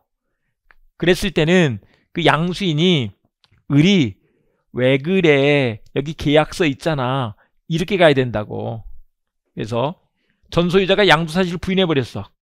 추정력은 깨져버렸다. 않는다. 않는다. 틀렸다 자, 그 다음에 가등기. 어, 보시고, 여기서 1번. 가등기 이후에 가압류 등기가 맞춰지고 가등기에 기한 본등기가 격려된 경우 등기관은 그 가압류 등기를 직권으로 말소할 수 있다. 이 가압류 등기가 중간 처분 등기라고 이런 것들은 직권으로 말소할 수 있다고 등기관이 어, 그 연장선상에서 2번 봐보세요. 아주 중요한 건데 가등기에 기한 본등기 절차에 의하지 않고 별도의 본등기를 격려받은 경우 그러니까 이미 그냥 본등기를 격려받았어. 이랬을 때는 어 우리 중간처분 등기 예를 들면 가압류 등기가 있어. 이, 이 중간처분의 등기가 지금 가압류 등기예요. 가압류 등기가 살아있는 거예요. 가압류 등기가 살아있어. 이거 없어지지 않아요. 근데 지금 우리 소유권 취득하는 사람 입장에서는 가압류나 저당권 등기나 뭐 다른 등기들이 없어지는 게 맞겠잖아요. 그랬을 때는 어, 가등기에 기한 본등기 절차 이행을 청구할 수 있다는 거죠. 근데 이것도 우리 혼동에서와 같이 생각을 해보면 본등기가 되면 혼동이 됐잖아요. 가등기도 있고 본등기도 있어. 그러면 그 가등기 없어지는 게 맞을 것 같아. 그런데 뒤에 세컨드가 있잖아요. 중간 처분 등기가 있어. 그러면 못 죽어. 그래서 나중에 가등기에 본등기 어, 본등기 이행 청구 할 수 있다. 이렇게 된다. 이제 그렇게 되면 이게 어, 중간 처분의 등기를 말소할 수 있게 되는 거니까 그 말인 것입니다. 그 다음에 이제 본등기 전의 효력, 가등기 자체만으로는 아무런 힘이 없어. 예, 그래서 보존등기 말소 청구 할 수 없다. 보존등기 말소 청구하는 게 물권적 청구 행사예요. 그런 거 안 된다. 이렇게 말한다.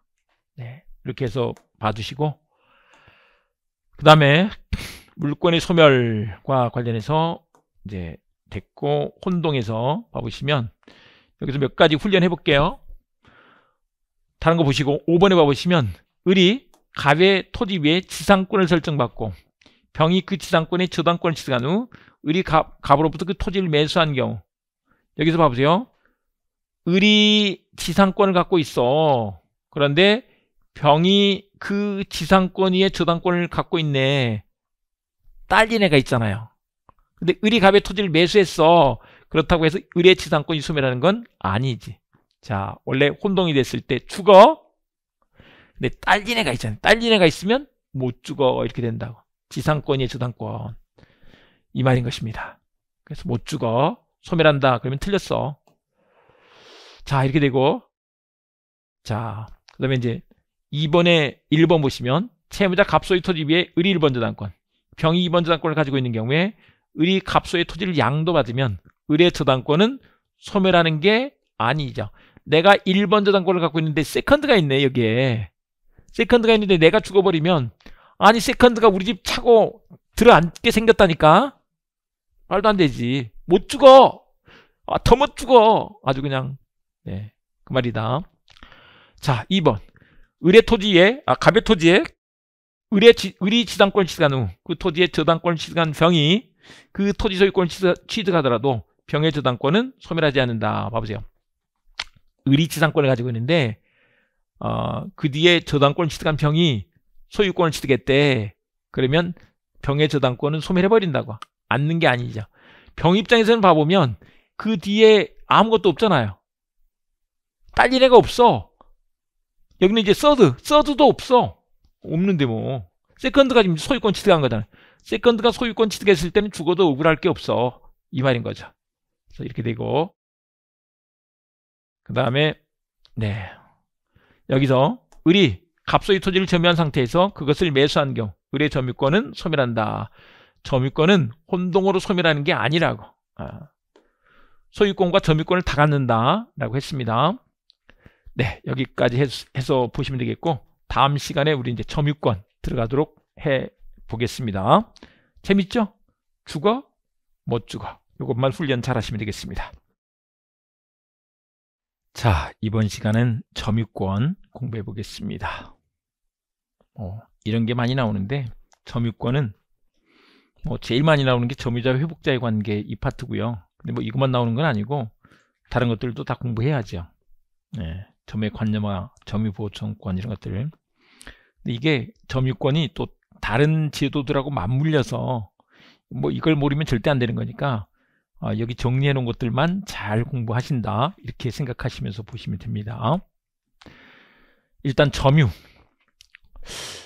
어, 물권 그러면 물권엔 점유권과 본권이 있다 그랬잖아요. 점유권이라는 건 별게 아니고 그냥 갖고 있으면 인증해지는 권리예요. 점유하고 있으면 점유권이 있다. 아, 근데 그 갖고 있는 것을 사실상 지배라고 해요. 심지어는 그래서 두둑도 점유권이 있다 이렇게 말하죠.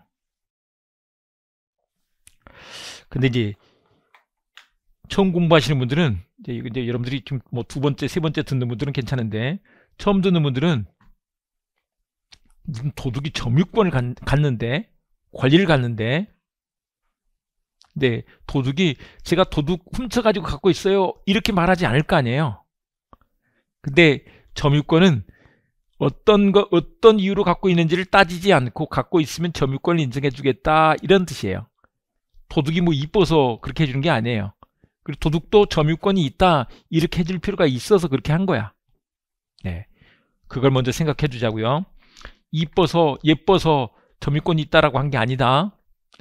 근데 이제 본권은 점유할 수 있는 권리 그래서 어, 여기 정당화 이렇게 써놨는데 어, 정당화 기능을 하는 거예요. 봐보세요. 보통 이제 본권 그러면 소유권 제한 물권이 있는데 내가 갖고 있어요. 내 거를 내 소유물을 내가 갖고 있어. 그러면 내가 갖고 있으니까 점유권이 있죠. 근데 내 걸 갖고 있잖아요. 그러면 내가 갖고 있는 게 정당한 거지. 누가 시비를 걸 수 없는 거죠.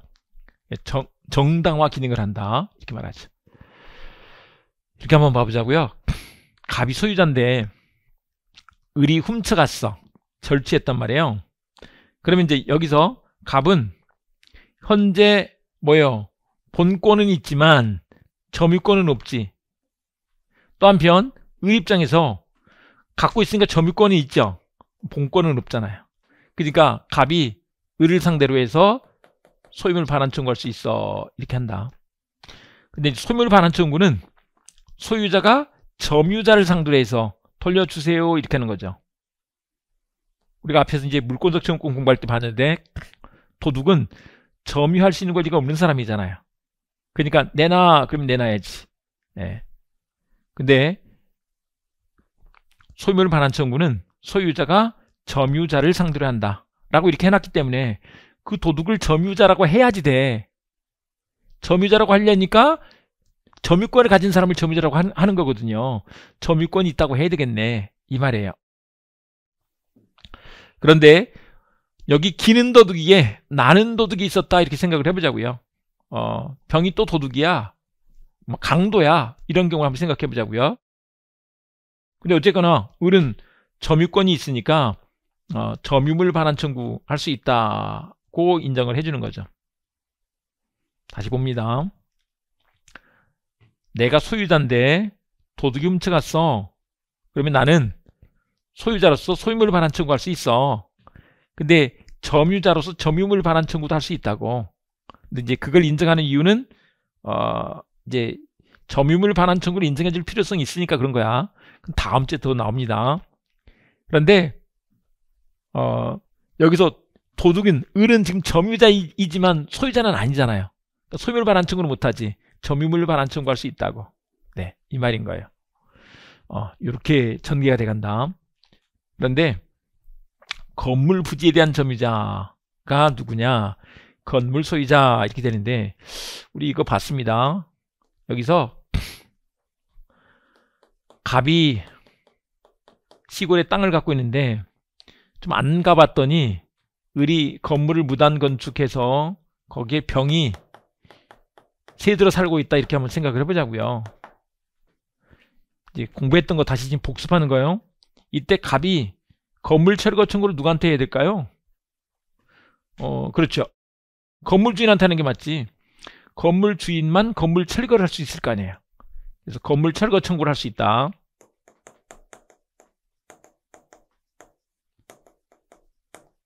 그리고 이 건물로 대지를 누르고 있잖아요. 그러면 대지 인도 청구를 할 수 있다. 이렇게 한다고. 근데 여기서 어, 인도 청구가 소유물 반환 청구예요. 반환 청구는 소유자가 점유자를 상대로 하는 거라니까요. 근데 을을 점유자라고 해야지 을한테 대진도 청구를 할 수 있겠네. 네, 이 말인 거죠. 그래서 건물 주인이 건물 부지에 대한 점유자가 된다. 이렇게 한다는 거죠. 병을 상대로 해서는 그냥 퇴거 청구를 하는 거야. 병이 나가야 건물을 철거할 수 있을 테니까 이렇게 한다는 거죠. 그래서 요 개념을 알아두고 합니다. 대진도 청구는 갑이 을을 상대로 해야 돼. 병을 상대로 하면 안 돼. 이렇게 봐주신다. 요 그림인데요. 그래서 건물 소유권이 만약에 양도가 됐어. 그러면 그 부지에 대한 점유도 상실된다. 이렇게 된다는 거죠. 그 건물 부지에 대한 점유도 상실돼 버려. 넘어갔으니까. 네, 이렇게 되는 거죠. 자, 매매로 인한 이전 등기시 임야도 인도됐다. 이거를 한번 봐보실 건데 잘 안 보이긴 하는데 이게 지금 임야예요. 산. 임야는 무슨 그 이게 철조망으로 쳐진 게 아니잖아요. 개방돼 있잖아요. 근데 임야에 대한 매매가 있었다고 생각을 해보자고요. 갑과 을이 매매 계약을 맺었어. 근데 요게 소유권 이전 등기가 되면 소유권은 넘어갈 거 아니에요. 근데 언제 인도해 준 거야? 이거는 뭐 예를 들면 봐보세요. 동산 같으면 여기 있습니다 하고 넘겨주면 인도 받은 거잖아요. 점유가 이전된 거야. 주택 같은 경우는 입주하면 인도 받은 거잖아요. 입주할 입주할 때 인도 받았어. 그러니까 등기는 뭐 예를 들면 어 4월 10일 날 했는데 입주는 4월 20일 날 했대. 4월 20일 날 인도 받은 거지. 이렇게 볼 수 있잖아요. 근데 이렇게 될 건데 이렇게 임야나 이런 경우들은 대지 같은 것들은 도대체 언제 넘겨준 거야? 아, 근데 이게 이전 등기할 때 넘겨준 것으로 보자 이 말인 거죠. 근데 보존 등기까지 그렇게 보는 건 아니야. 보존 등기는 실제를, 실제를 따져봐야 돼. 이 말이에요. 그래서 임야나 대지를 인도해 준 것이다. 네, 이거 봐주시고 그 다음에 이제 점의 관념화 이걸 보실 건데 점의 관념화는 뭐냐면 원래 이게 이런 거죠. 갖고 있으면 점유가 있는 것이고 어, 또 갖고 있는 사람을 점유자 이렇게 해요. 예. 근데 어떤 사람은 갖고 있어도 점유자가 아니래. 또 어떤 사람은 안 갖고 있어도 점유자래. 이렇게 된다는 거야. 이런 것을 점유의 관념화라고 한다. 갖고 있어도 점유자가 아니고 점유 보조자래. 안 갖고 있어도 그 사람을 점유자라고 한대. 간접 점유, 상속인의 점유 같은 것들이 그래. 일반적인 점유하고는 좀 다르네. 이것을 점유의 관념화라고 이렇게 부른다고. 우리 상속인의 점유 같은 경우를 한번 다시 보자고요. 아버지가 어젯밤에 돌아가셨어요. 점유하고 계시다가 돌아가셨단 말이에요.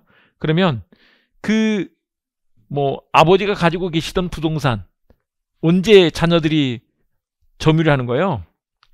옛날 같으면 요즘도 뭐 옛날에도 같이 안 사는 경우가 많았겠지만 옛날 같으면 뭐 아버지가 아버지 옆에 자식들도 사니까 자식이 바로 점유했다 이렇게 볼 수도 있겠네. 근데 그러면 안 사는 자식은 어떻게 할 거예요? 같이 안 사는 자식은 어, 자녀는 어떻게 할 거냐고. 요즘 같으면 봐보세요. 애는 저 미국 살아, 영국 살아, 저 중국, 일본 이런 데 산단 말이에요. 예. 그러면 갑자기 교통사고로 돌아가셨어. 그 집은 그 부동산은 누가 점유하는 것으로 해야 돼? 근데 봤습니다. 돌아가시는 순간 권리 능력이 없어지기 때문에 점유권도 없어 이제. 부모님이 갖는 게 아니라고. 없어. 근데 그러면 어떡할 거야? 점유는 이걸 쥐고 있어야지 된다는데 그게 그게 사실상 지배인데. 근데 그러면 안 되겠잖아요. 그러니까 그냥 어 저 아직 미국에서 오지 않았어도 외국에서 들어오지 않았어도 그냥 자식이 점유하는 것을 하자 이렇게 해주는 것이라고 이게 점유의 관념하다. 특히 이제 여기서는 점유보조, 그 다음에 점유보조자, 또 뭐 간접점유 이런 게 중요한 문제가 되죠.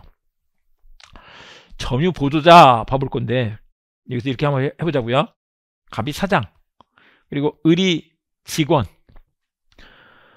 점유보조자의 사실상 지배 이렇게 했는데 이걸 간단히 말씀드리면 갑회사 사장님이 어, 공장을 갖고 있는데 그 공장 기계를 직원 을이 돌리고 있어요.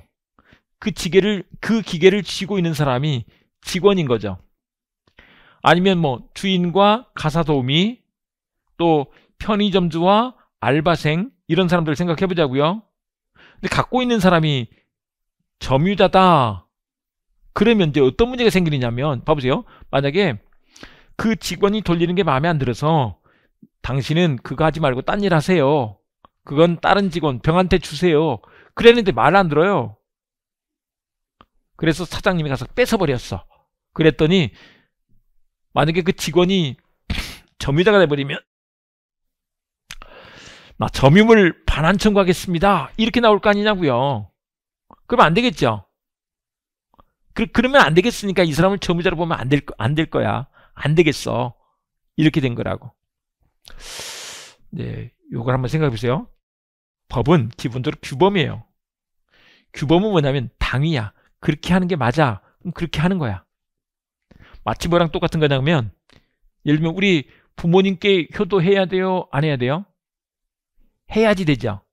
해야지. 자식된 도리로 해야 될 거 아니에요. 왜 해야 되는 거야? 그냥 해야 되니까 하는 거지. 아니 뭐 또 그걸 좀좀더 뭐 하자면 뭐 진자리 마른 자리 뭐 어 가라니시고 뭐 이렇게 해서 그런 것도 있지만 그런 게 아니라도 자식은 부모를 부모한테 효도해야 되는 게 맞잖아요. 그게 당위지 규범이지 그런 것처럼 아 이것도 이렇게 하면 안 되겠네. 그러니까 그렇게 보지 말자는 거야 그냥 그렇게 보지 마. 네.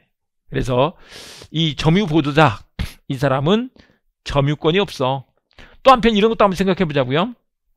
만약에 A라는 사람이 A라는 사람이 X라는 기계를 임대차로 빌려줘서 렌트한 거예요.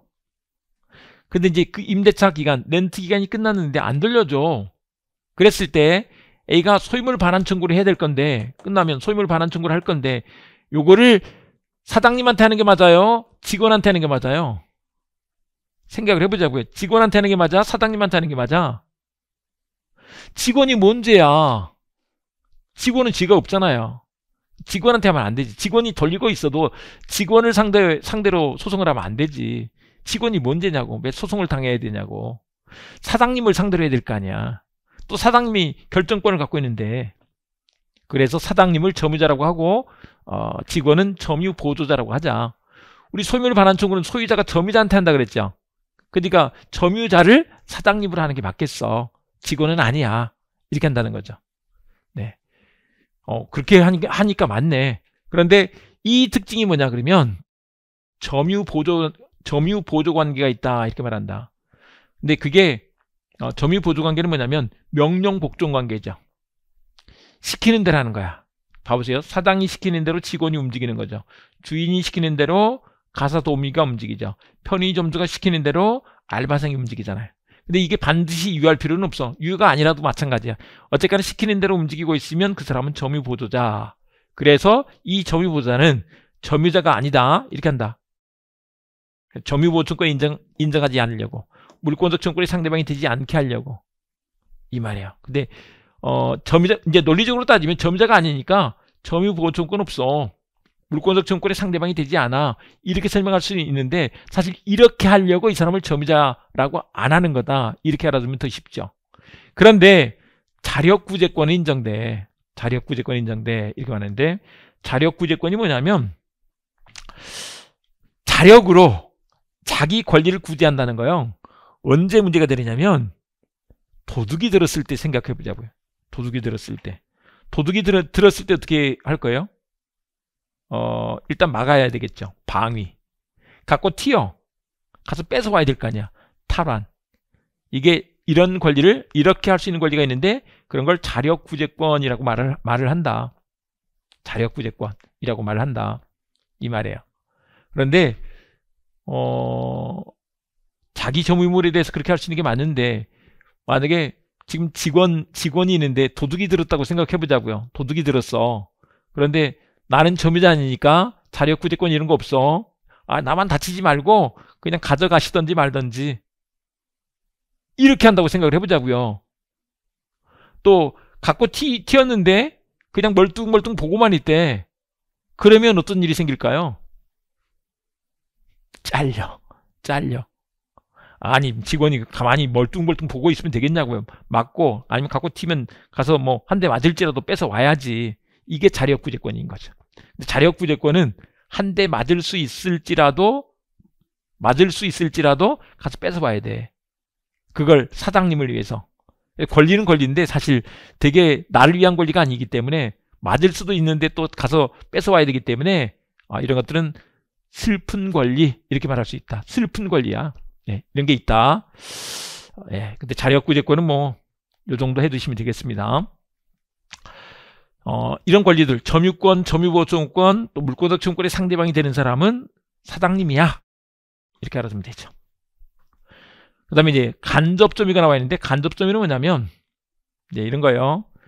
갑이 임대인 그리고 을이 임차인 임대차 계약을 맺고 어 X를 을이 빌려 쓰고 있어. 그러면 이제 을이 직접점이자 그 다음에 주인은 간접점이자 이렇게 되는 거죠. 점유 매개자가 점유를 해. 아, 이런 상황이에요. 그러면 이제 점유권이 있어요. 근데 이제 봐보세요. 그러면 이제 주인은 임차일 통해서 간접 점유한다. 이렇게 보는 거죠. 임차일 통해서 간접 점유를 해. 근데 아까 우리 분명히 공부하기로는 갖고 있으면 점유권이 있고 없으면 점유, 점유 권이 없다고 했는데 왜 이렇게 할까? 갖고 있지도 않은데.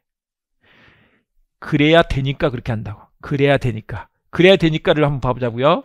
예를 들면 이런 거요. 봐보세요. 만약에 여기 도둑이 들었어. 그러면 이제 봐보세요. 아, 이 사람은 점유자니까 도둑한테 야 내놔 점유율 반환 청구할 수 있겠죠. 어, 점유율 반환 청구가 인정돼. 인정돼 되죠. 점유자니까. 그런데 만약에 갑이 도둑을 만났다고 생각을 해보자고요. 만났어. 이랬을 때 이 사람이 점유자가 아니면 어떻게 될까요? 야 너 잠깐 기다려. 내가 을 데리고 올게. 그때까지 도둑이 기다려줄까요? 안 기다려줄까요? 말도 안 되지. 그러니까 갑이 직접 도둑한테 점유물 반환 청구하도록 할 필요성이 있네. 그러려면 이 사람이 점유자여야 될 거 아니야. 점유자여야 그게 가능할 거 아니냐고요. 그 말인 거죠. 됐죠? 또 한편 이런 거 봐보세요. 이게 어 만약에 여기서 이렇게 한번 봐보자고요. A가 갑한테 X를 임대차로 빌려줬어. 그 다음에 이제 갑이 또 을한테 빌려준 거예요. 빌려주는 것을 또 전대차라고 하죠. 빌려서 빌려주는 것을 전대차라고 하는데 만약에 이 임대차 기간이 끝났다라고 생각을 해보자고요. 그럼 A가 소유자로서 소유물 반환 청구를 할 건데 A가 을을 상대로 해서 소유물 반환 청구할 수 있죠. 점유자가 맞으니까 소유자가 점유자를 상대로 해서 할 수 있는 것이다. 그런데 갑을 상대로 해서도 반환 청구할 수 있도록 하는 게 맞겠잖아요. 값도 받아서 주면 되지. 그래서 이 사람을 점유자라고 해야지 되는 거야. 점유자라고 해야지 소멸 반환 청구를 할 수 있지. 딱 아예 원칙을 정해놨어요. 소멸 반환 청구는 소유자가 점유자를 상대로 한다. 고 정해놨어. 그러니까 이렇게 하는 게 맞을 것 같으니까. 근데 이제 을 같은 사람을 점유 매개자라고 하는데 어, 그래서 간접점유자 이 사람은 점유권을 갖고 그에 따라 점유보증권 물권적 청구의 상대방이 된다. 근데 도둑을 만날 일은 없으니까 자력구제권 이런 건 없어. 이렇게 해준다. 한편 여기서 한 가지 알아두고 가자고요. 간접 점유는 그러면 좋아요 나빠요? 좋죠. 좋다. 점유하고 있다 그럴 때 간접 점유도 점유가 되는 거예요. 어, 나중에 그냥 좋다 이렇게 풀면 돼요. 일단 느낌적으로 좀 가져가려면 내가 간접 점유를 하려면 집이 한 채 가지고는 안 되죠. 최소한 두 채는 있어야지. 내가 하나 사는 건 하나 사는 건 직접 점유. 또내 집이 또 있는데 세를 줄려 세를 줘야 내가 간접 점유가 될 거 아니야. 간접 점유. 간접 점유는 좋은 거야. 아, 나중에 그냥 문제 푸실 때 간접 점유는 좋은 거야. 이렇게 푸시면 된다고. 간접 점유 좋은 거야. 우리가 보통 농산물 국산을 좋아하죠. 우리 농산물 좋은 거예요. 근데 간접 점유는 더 좋아. 네, 이렇게 알아두자. 간접 점유가 더 좋아. 그런데 이들 관계, 갑과 을의 이 관계가 우리 예를 들면 지상권 설정 계약, 전세권 설정 계약, 임대차 계약 같은 게 있는 거예요. 그것을 점유 매개 관계라고 한다. 점유 매개 관계를 원인으로 있는 거야. 근데 점유 매개 관계의 특징이 뭐냐면 반환청권이 있는 거죠. 반드시 유할 필요가 없어. 봐보세요. 임대차가 끝나면 임대인은 돌려주세요라고 할 수 있죠. 돌려줄 돌려주세요라고 할 수 있다. 근데 임대차 계약이 무효면 반환 청구할 수 없느냐? 있죠. 아, 내 거니까 돌려주세요라고 할 수 있다니까. 반환 청구권이 있잖아요. 반드시 유효여야 되는 게 아니야. 점유 매개 관계의 특징은 반환청권을 갖는 것이다. 그리고 이 점유 매개 관계는 중첩적으로 있을 수가 있어. 어, 보시면 아까 말씀드린 것처럼 A가 갑한테 빌려줘서 갑이 또 을한테 빌려줬어. 그러면 마지막으로 갖고 있는 사람이 직접점이자 간접점이자는 두 사람이 되는 거죠. 이게 점유매개 관계가 중첩적으로 있을 수 있기 때문에 그렇다. 이렇게 된다. 네, 됐죠. 어, 오늘은 뭐 양이 많지 않아서 좀 다음 이제 자주점까지 들어가면 양이 너무 많아서 여기서 끊습니다. 어쨌거나 절대 붙는다 재수 없다 잊지 말자고요. 참 기출 문제도 풀어보셔야 돼요. 기출 문제 어, 우리 기출 문제 특강 지금 올리고 있으니까 어, 그것들도 풀어보시면서 오시라고요. 자 책을 한번 체크해 보도록 하겠습니다. 일단 점유 그랬는데 사실상 지배가 있는 것을 점유가 있다라고 한다. 네, 이렇게 봐주시고 건물 부지에 대한 점유는 건물 소유자가 한다는 것. 그 다음에 이전 등기할 때 인도된 것으로 본다는 거죠. 그런데 보존 등기는 그렇게 보는 게 아니야. 예. 보존 등기까지 그렇게 보는 건 아니라고. 이전 등기만 그렇게 보는 거야. 그 다음에 이제 점유 보조자. 점유 보조자와 관련해서 어, 점유 보조자는 자력 부재권을 행사할 수 없다 그랬는데 자력 부재권이 있다니까요. 슬픈 권리야.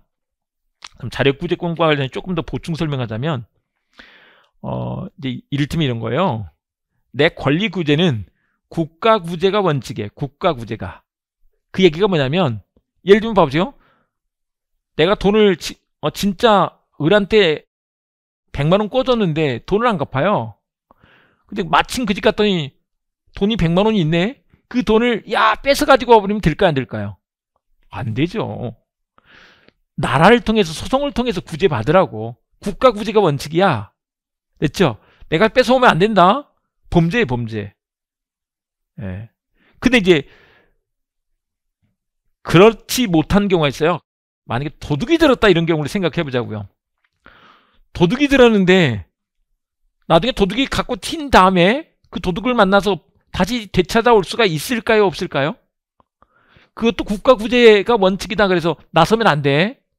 그러면 나라가 찾아주냐고요. 찾아주기 힘들지.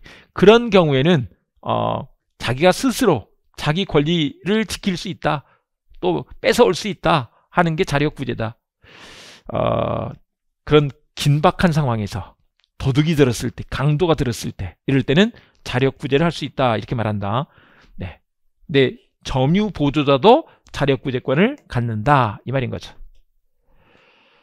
자, 이렇게 해두시고, 어, 3번은 잠깐 좀 봐보시는데, 옛날 문제요. 의리 남편 갑과 시부모와 함께 아무런 권한 없이 주택을 계속 점유하면서 소유자 병의 명도를 명도 요구를 거부한 경우 병은 을을 상대로 명도 청구할 수 없다 그랬는데 어 우리 배우자 배우자를 배우자가 하는 점유를 점유 아내가 하는 점유를 점유 보조자라고 봐야 될까요?